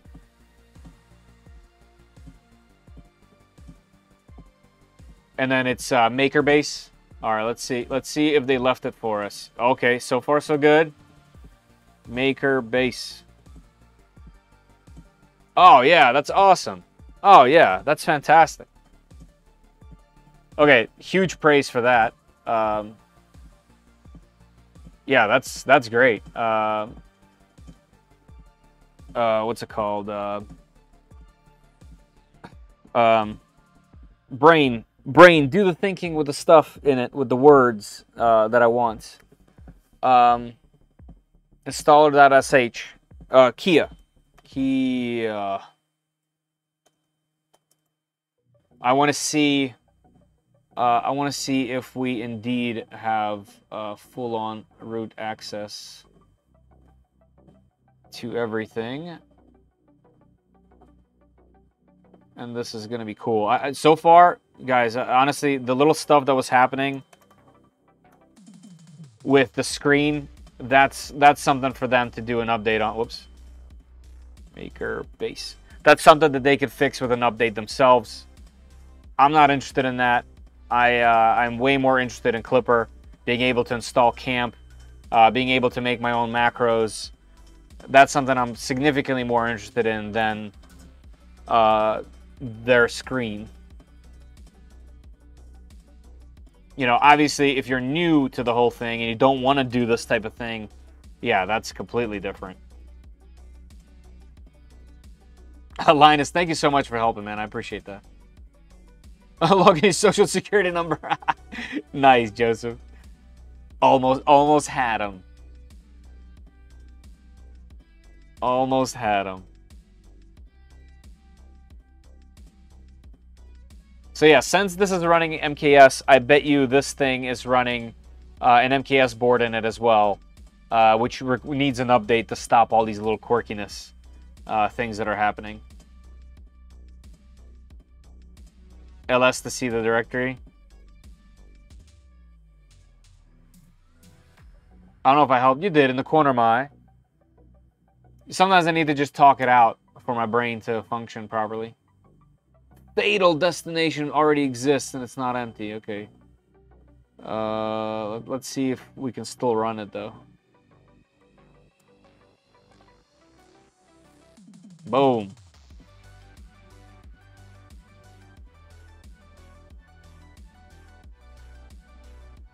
Perfect. So there we go. Let's see. Uh, let's see what what versions they're running on everything. I'm not going to update this uh, because I'd want them to do it. Uh, usually updating things like this on machines that have custom firmware, custom Klipper versions will break it.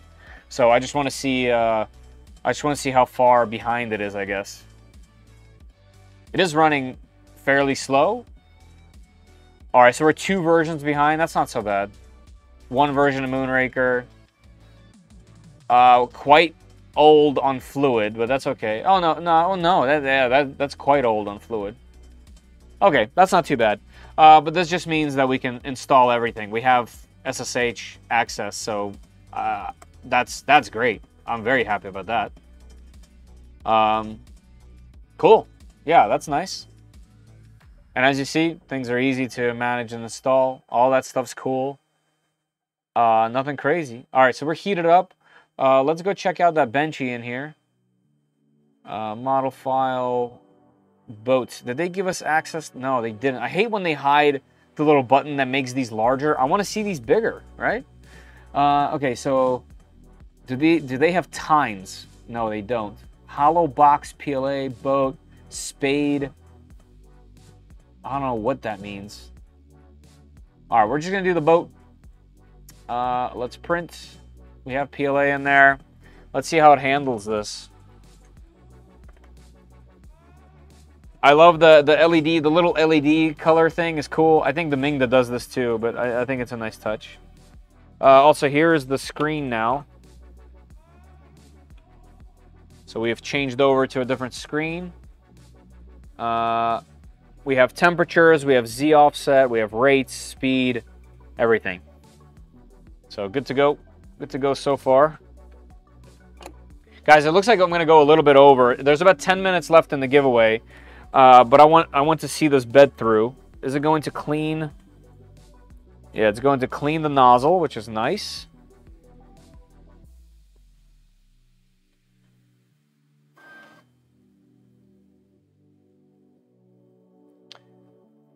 Every single time I try to watch, I get pulled off something else. It happens. Uh, that could go a little bit lower. I might be too late on it though. Let's go down just a couple clicks. Maybe one more click.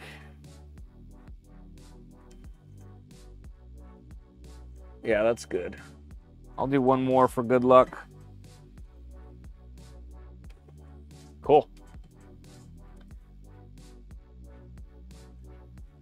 Yeah, that's looking good for the first layer. I'll get you guys closer in there in a second.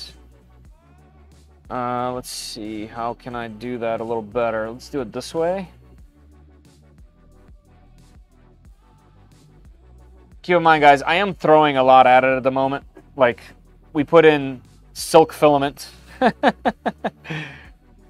uh, it should be, you know, they, they want you to use the hyper hyper stuff, but come on. Try to find a view that works a little better. It's about as low as I can go on the camera camera setup there. She is fast. She is fast. My Neptune came with a broken speed benchy that would knock itself off at the roof every time. I thought it was uh, appropriate because I hate printing benchy all the time. Nice.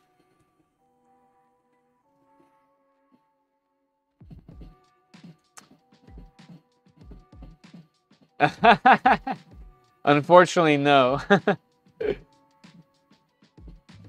How do you like the lamp and breeze? There is a breeze. Uh, there is a breeze. That fan is, is crazy on the bottom there, excuse me. Uh, the lamp's cool. The lights are cool. I like the lights. Why don't you update these types of printers? If you update their, their version of Klipper, it's going to break. Uh, it's going to break the entire thing. And you'll have to reflash uh, the actual e EMC unit, which you can't do if they don't give you an adapter, which they don't give you an adapter. So you don't want to update Klipper because it's their version of said Klipper. Uh, the one thing that's cool is it has um, it has SSH access, so you're still still able to do whatever it is that you want. Uh, but I would be extremely cautious uh, to update Klipper um, without them on this type of thing. Now, if you want to go for it and install your own you know, your own base MKS thing, you're going to probably lose the screen. Um, you can. There's nothing stopping you, but be ready. Be ready to run into issues if you update it yourself. Uh, that was a thing that Qidi Tech learned the hard way. Uh, when they released their first machine, it was kind of unlocked in a way where you could hit update on Klipper and it would update, and it would brick your machine because it's not meant to run in a universal configuration. It's meant to run in a really specific configuration for the hardware.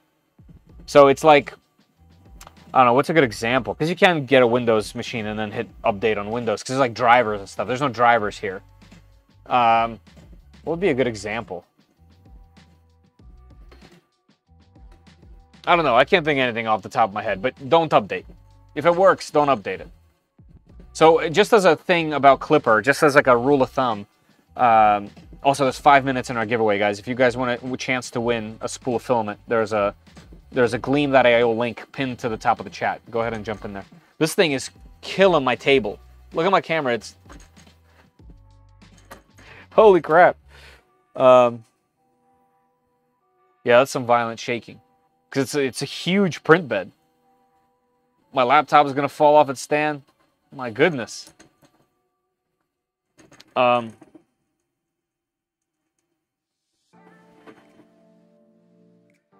I mean, it's printing very fast. I don't see any cooling issues either.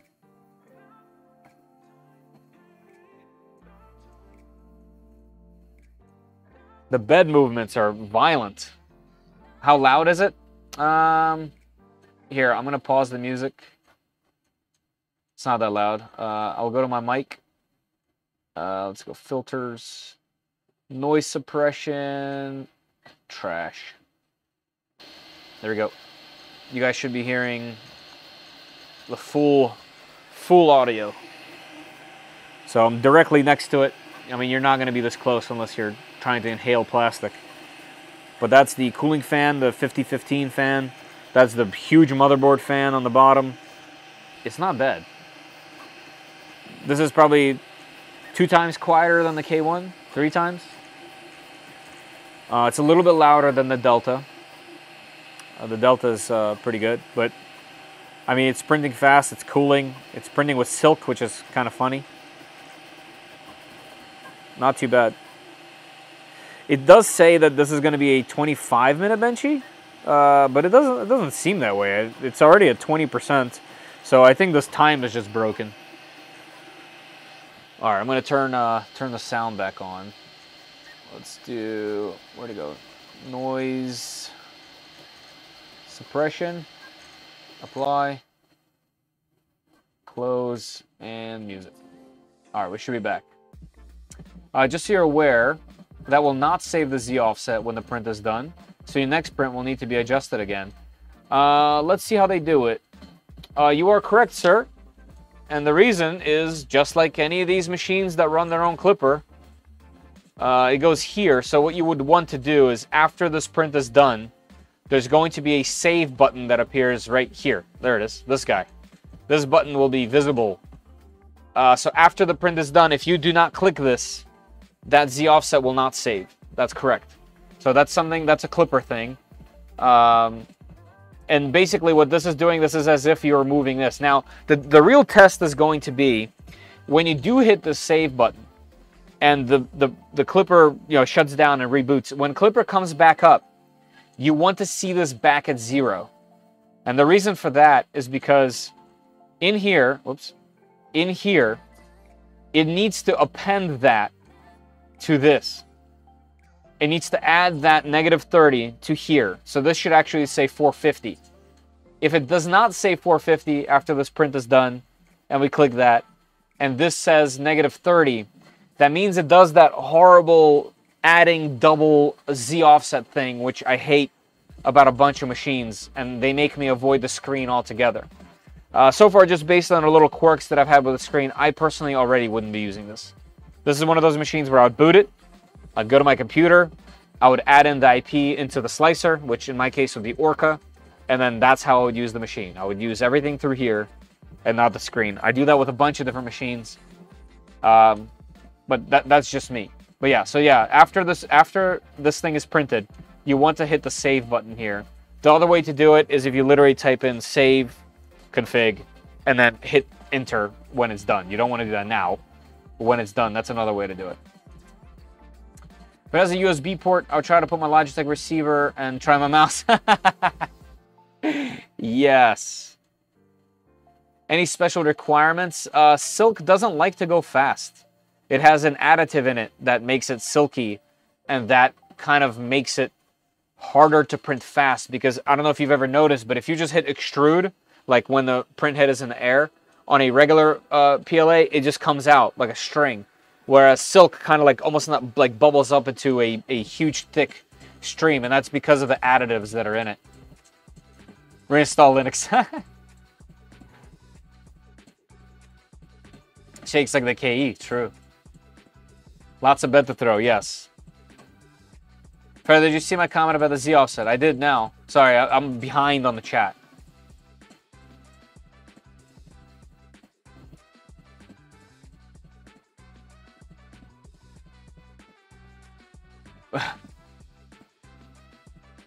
Real test is a save button. yes. What kind of ABS do you recommend? I'm pretty biased. Uh, I use a lot of ABS all the time, and I, I really like uh, IIIDMAX's ABS. It's simple. It works. Uh, their their their brand new um, um, carbon stuff is awesome. That's my new my new favorite filament at the moment. I have a bunch of carbon, but for some reason that one specifically just it it hides everything so well. I'm print I'm making an entire printer build from that stuff. Well, ASA, but it's close enough. One of the comments I made on the X uh, X4 Plus video is that the screen is not good. Yeah, the screen the screen is better than some of the other ones. I like this better than the Neptune, but does yours freeze up like that, Jerry? What are some starter printers? How starter? If it's your first machine, I would say Ender 3 V3 SE is fantastic. If it's not your first machine, tell me more. Tell me what you want to print. Uh, do you like? Do you need special materials? Do you have requirements for space? Otherwise, I think that machine for the price, I don't know if there's anything close at the moment because of it's just how automatic everything is, and it has an upgrade path. What's your favorite brand of PLA? IIIDMAX. That's easy. Uh, but this is a prototype. Make sure you mention that to them. Right. Yes. Well, I don't think this is a prototype. I think this is pretty market ready. But it's a prototype as in the machine isn't released yet. So, it's that. Can this do TPU? Uh, I see FPV in your name. Um, actually, since FPV is in your name, I wanted to play this earlier. Uh, I built a, a Holo Holo, Holo Donata with the O3 air unit. This was my first flight. I'll show you in a second. Um, yes, this should be able to print TPU. Uh, short path between the direct drive. This should be able to do TPU, especially if you slow it down. Do not print TPU fast. If you're into FPV, you should probably know that already. Uh, but yeah, check this out. It's just a couple seconds. Uh, I took it to work for lunch and uh, found this cool spot. There was no one around, uh, luckily. So I was just cruising. Uh, yeah, first uh, first battery pack through the drone after building it. But this thing is tiny. If you guys know the Holo Donata, uh, you know, fits in the palm of your hand. Uses an O3 air unit, uh, ELRS, uh, fun stuff. But definitely super fun to fly, and then this place is just unbelievable. Uh, I didn't want to stay too long. There's people working, but no one was outside, uh, and I was just sitting on a little park bench down there by the water, uh, right by my office. It's fantastic. I think it cuts off here, but yeah, super cool little flight. Um, fun little drone. Sound went out. Can you still hear me, Walkman? My screen hasn't frozen, uh, but it has too many translation errors and many navigation is not good. I agree about the translation errors. Also, guys, it is past 12, so the giveaway has been over. Uh, let's see how many you guys entered. 62 people. Okay, that's pretty good. I will draw a winner. I mean, we're 60% of the way in. Uh, you guys planning on sticking around? Everyone planning on sticking around for a little while until this is done? Um, because usually when I do the drawing, everyone leaves, and uh, I would like to see this machine through its first print.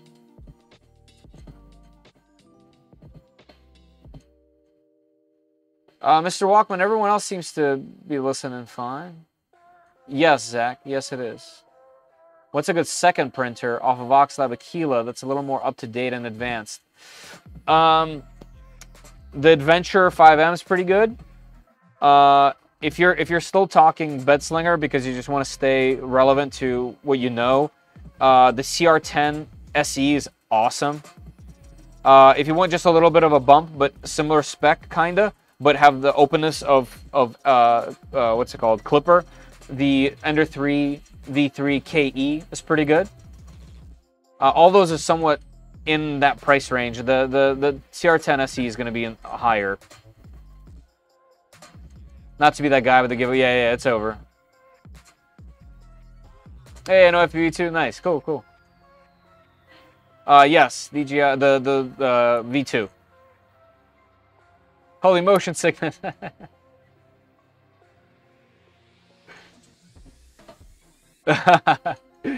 nice. Yeah, I mean, I I, I do uh, I fly drones, not necessarily for a living, but uh, it's a part of the services that we provide as drone services. So I'm a I'm a licensed pilot, so I fly very often, and uh, I have a flight log that I try to maintain, so I fly as much as I possibly can. Same spot as Botgrinder, Cricket. Yeah, yeah. I, I, I didn't know Bot went there before, but I saw Cricket fly there. Uh, yeah, my office is next door. so when I saw the video, I was like, dude, I go there for walks all the time. Uh, but I've never flown there.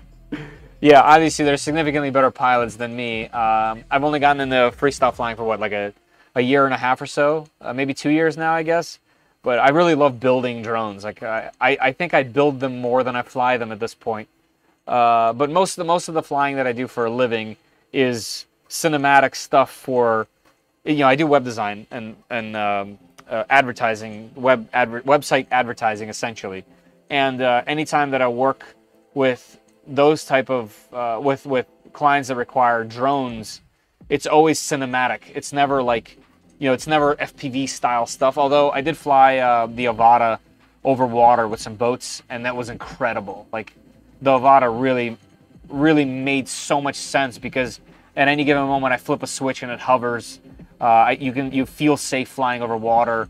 Uh, significantly over a built drone and the battery life. 20 minutes? Are you kidding me? That you can't touch that with anything of that size. So a lot of dji stuff. I'm here till the end. I like that jason. Thank you. I'm a bit tired. Come on kid. I, I work too man. I'm never here. I'm a bot. Nice flight bro. I appreciate that. Thank you do the real giveaway after the ollie. yeah, FPV's super, super fun.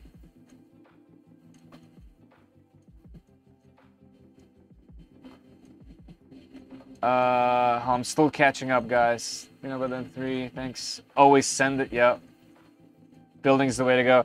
Yeah, yeah, yeah, yeah. I, and uh, the most recent five-inch drones and some of the other smaller quads that I've really, really enjoyed, like my favorite, I think my favorite quad is the original Odinata um, by uh, Crafted Quads, just because it's so tiny, it's completely silent.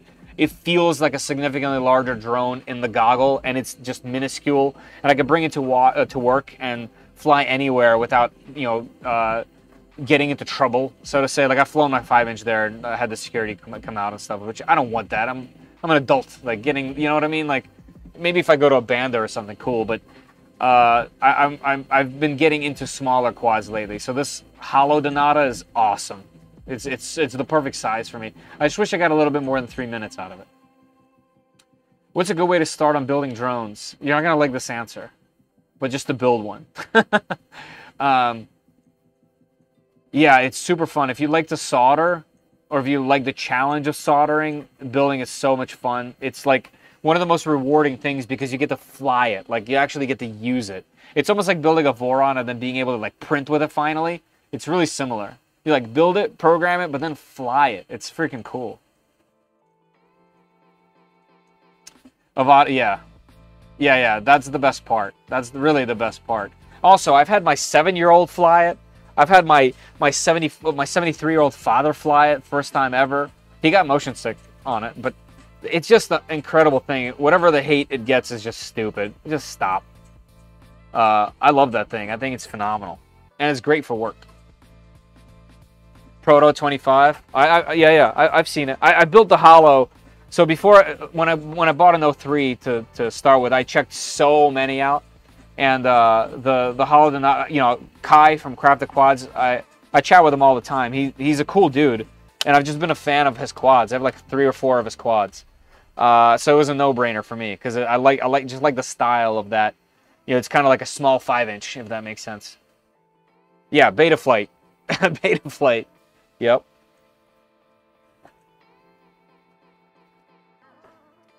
I, I'm the same way, man. I just you just got to get in there. You got to get them hands dirty. Uh, I started with analog. I still fly analog. Um, I have this box goggle, the the the Scout by Fat Shark. And man, I don't know what it is, but they look great.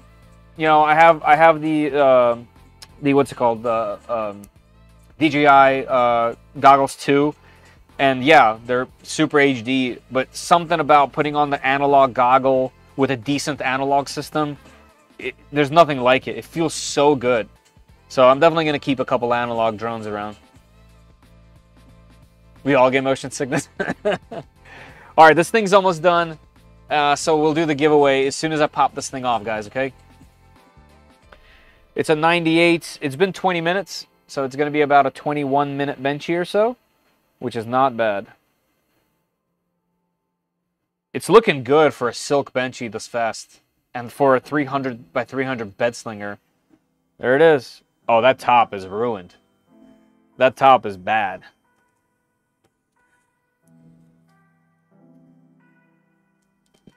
All right, I'll let it cool down a bit. While that is done, let's do the giveaway. They definitely used uh, a different profile for that pre-sliced. Oh, did they? Yeah, I mean this that that top is horrible. Uh,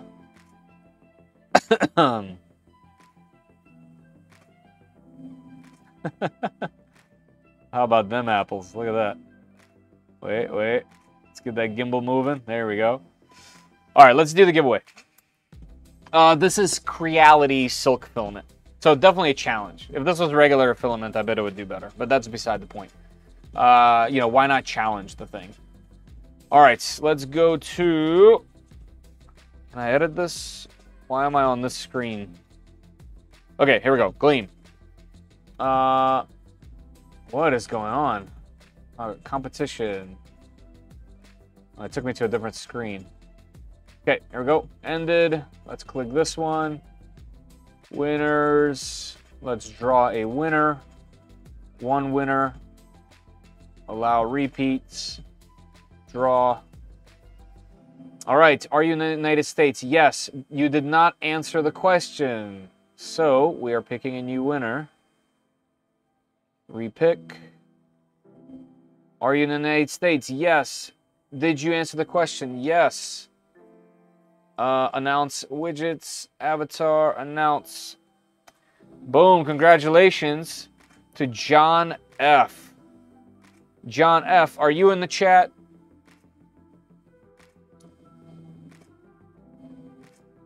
Software my past life, how to tech now. To program my controllers, 3D printing. Nice. That's good stuff. John F, you in here, buddy? John with two N's.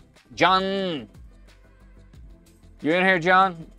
So just like I always do, uh, guys, if John is not in here in the next uh, few here, we're to give him five minutes uh, to claim the prize. So it's 12.13. So we are to do, uh, what is it, 18? 12, 18, we'll, uh, we'll repick. John, no, no, no, no, no. Can't that him? Oh, so that means he's not here. All right. Uh, I will do exactly as I normally do. Uh, and I will give him five minutes. Uh, so at 12.18, we will repick. Uh, Johnny. Maybe it's a stupid question, but how do I know if I answered the question about being in the U.S.? Uh, it, it's based on your location of uh, the Gleam.io knows your location, so it'll be in the in, you know it'll tell me based on your email.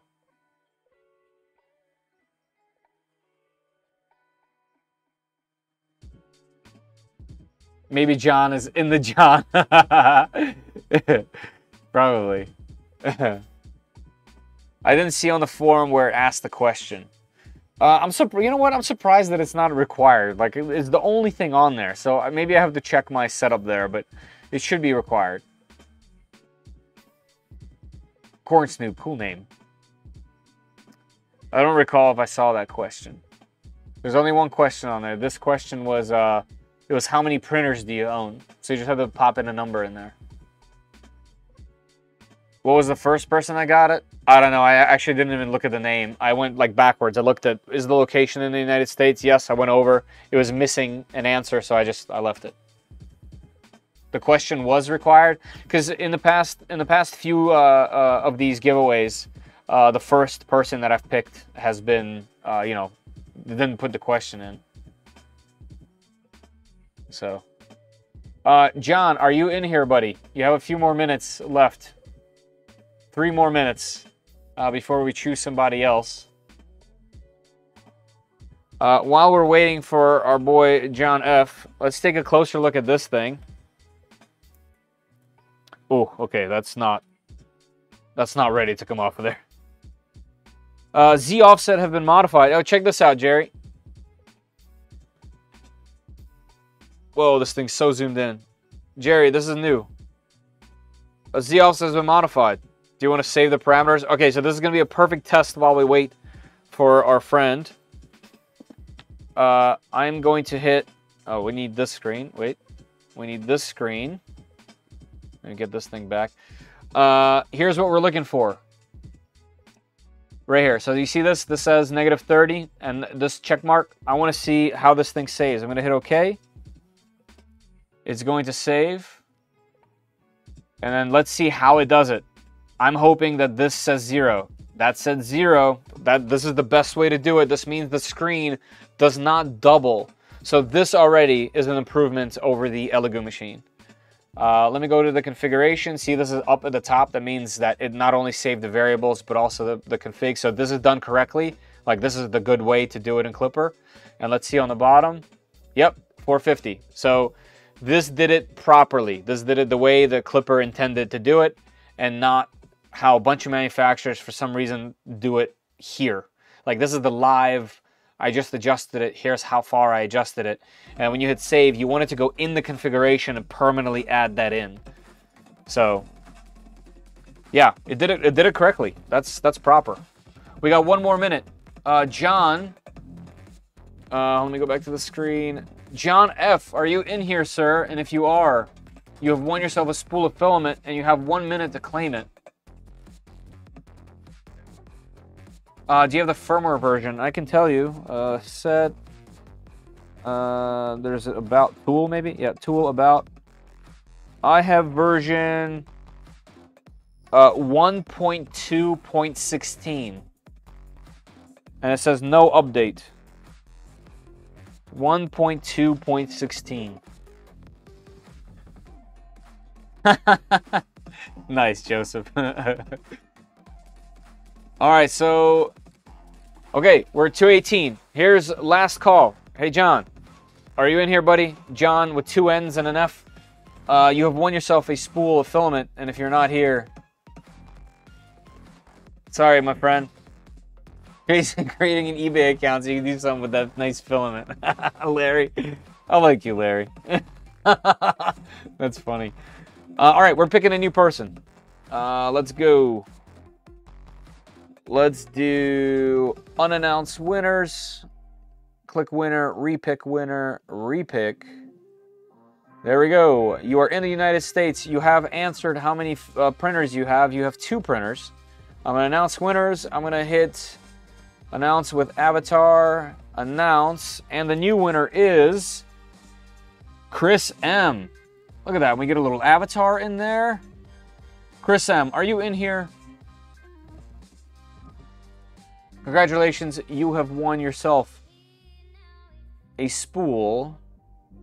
Did it flush out all those temp configs? I actually don't think so. They were all in there. No, it didn't. That's it's only going to flush those out if they do a install of a new uh, OS.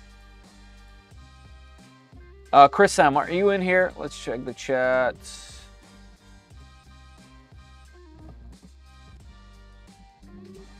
I like when you say their answer. Yeah, I, I need to get better at that Um because um, that information is actually pretty fun. Like I don't use it for anything, but it's just fun to look through. Chris, where are you at? Are we gonna have another another five minute? I guess we should do that, huh? All right, so it's uh, 12:20. Uh, let's wait until 12:24. Gamer, is that you? Because you're you're saying no way. Oh, another person. For your information, I donated Artillery Sidewinder X1 V4 uh, today to a young person who wants to learn 3D printing. Very nice of you. I'm 76 years old, so I have more disposable income than he does, so this uh, live is perfect for me. That's, uh, that's fantastic. Larry, that's very kind of you. Good on you, sir. Uh, I donated a printer today as well to a, uh, to a friend of mine uh, that wants an advanced machine. I gave him one of these, the um, X Plus 3 by Qidi Tech, and I donate machines all the time. Actually, uh, not, uh, the KE that's back there is going to be donated to another friend that wants to get into 3D printing. I think that'll be a perfect machine. Reduce uh, time, yeah, reduce time frame. Larry, we need more people like you. Yes, I, I agree. It's good stuff. Um, all right, you know what? I'll wait another two minutes. How about that? 12:22. It's 12:21 right now. We have one minute. Chris M, are you here? I know there's a delay. Sometimes the commercial kicks in, it's like two minutes long. You don't realize that you're not actually live and there's a delay. So, hi, yes, that's me. Okay, you do have a similar avatar. Uh, that taco guy. Uh, let me ask you this, sir. That taco guy. Chris, yeah, it, well, it says guy. Uh, okay, I can see by your email. Taco Guy, congratulations. You are the winner of the spool. So here's what you need to do. Listen up. Uh, I would like you to go to IIIDMAX's website. You can use the link down there or not. uh, uh, IIIDMAX. I think it's IIID max.com. Head over there and find a PLA Plus that you like that's in stock. Make sure that it's in stock, please. Taco guy. Uh, when you find one that's in stock, you need to email me at Fedor, which is F E D O R. Okay, it's my first name, F E D O R, at 3dprintsos.com. If you forget that, the email is in the YouTube uh, About section. Fedor at 3dprintsos.com. Okay, so email me your address and your uh, pick of the PLA Plus that you choose. Uh, carbon, PLA Plus Carbon is not available. So just a, a PLA Plus that's in stock.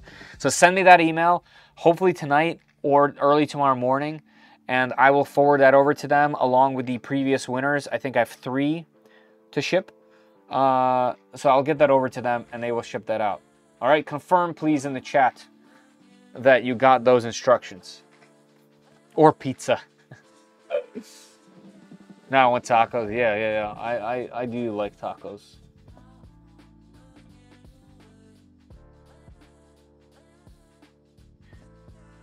Taco, you there?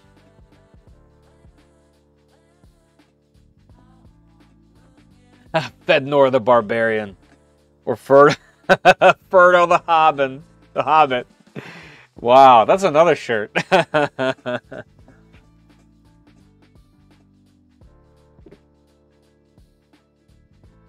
Taco, where'd you go? Please confirm. See, there might be a delay. It's worth waiting. As a bonus, I wonder if that taco guy needs a car warranty to go along with that PLA Plus. My printer is also 1.216. Well, that's a, a, nice plot twist, isn't it, Jerry? I, ref I refresh. I think I was behind. Yeah, yeah, that's that's what happens. See, that's why I like to wait, guys. So please be patient. Like I said, next time what happens is uh, YouTube will put a commercial into the live stream, and you don't know that when you come back, you're no longer live. You're actually behind that time frame. So if there's a delay, you don't notice, uh, and it like it keeps going. The delay is more and more uh, on delay, as they say. Ah, oh, that's bad. That was a bad joke. Anyway, uh, that's why I like to wait five minutes.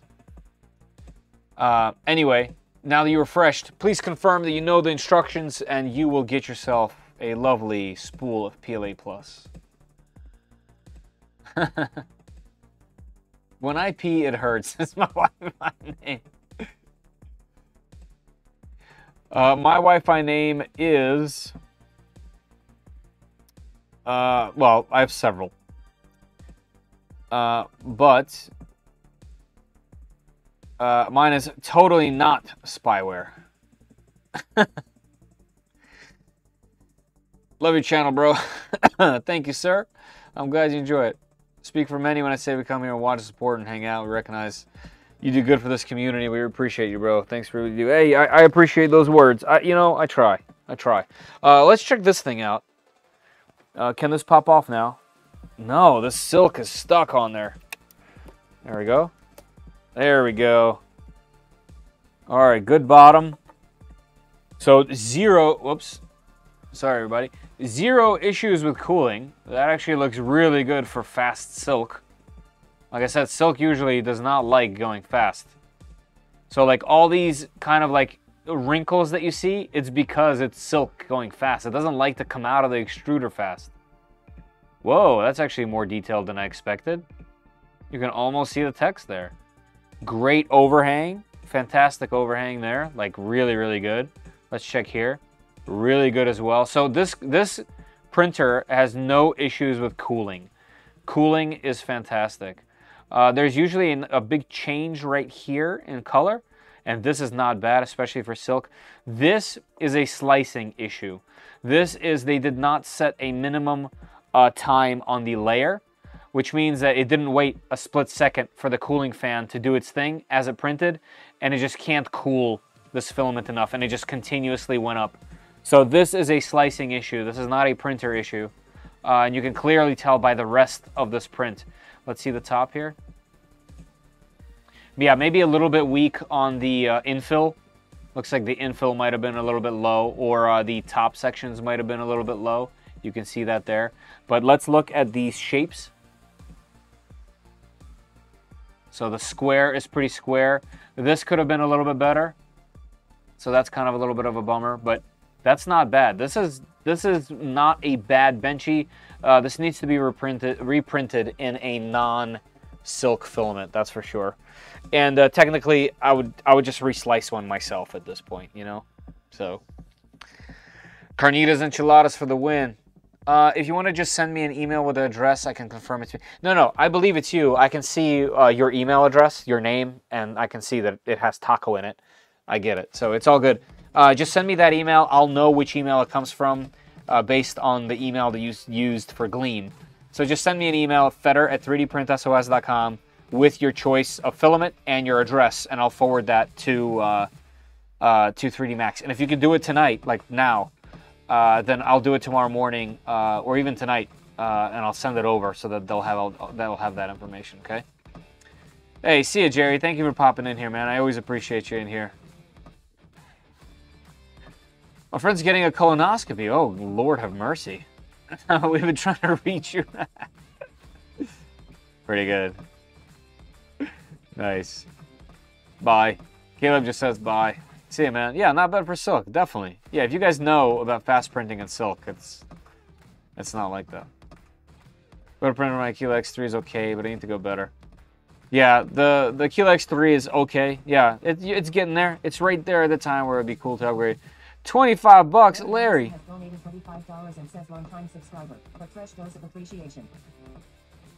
Larry, I that's that's very kind of you, man. I, I, I really appreciate that. That's that's very nice of you. Thank you. Thank you very much. Uh, you can slow down the minimum layer time. Exactly. That's that's all that is. Like I, have done this myself, just not knowing how to slice. Uh, you know, maybe they should have done that better. Yes, but uh, you know, they want this thing to print as fast as possible, so I see why they tried to do that. But like I said, it's it's not a cooling issue. That's just a slicer issue.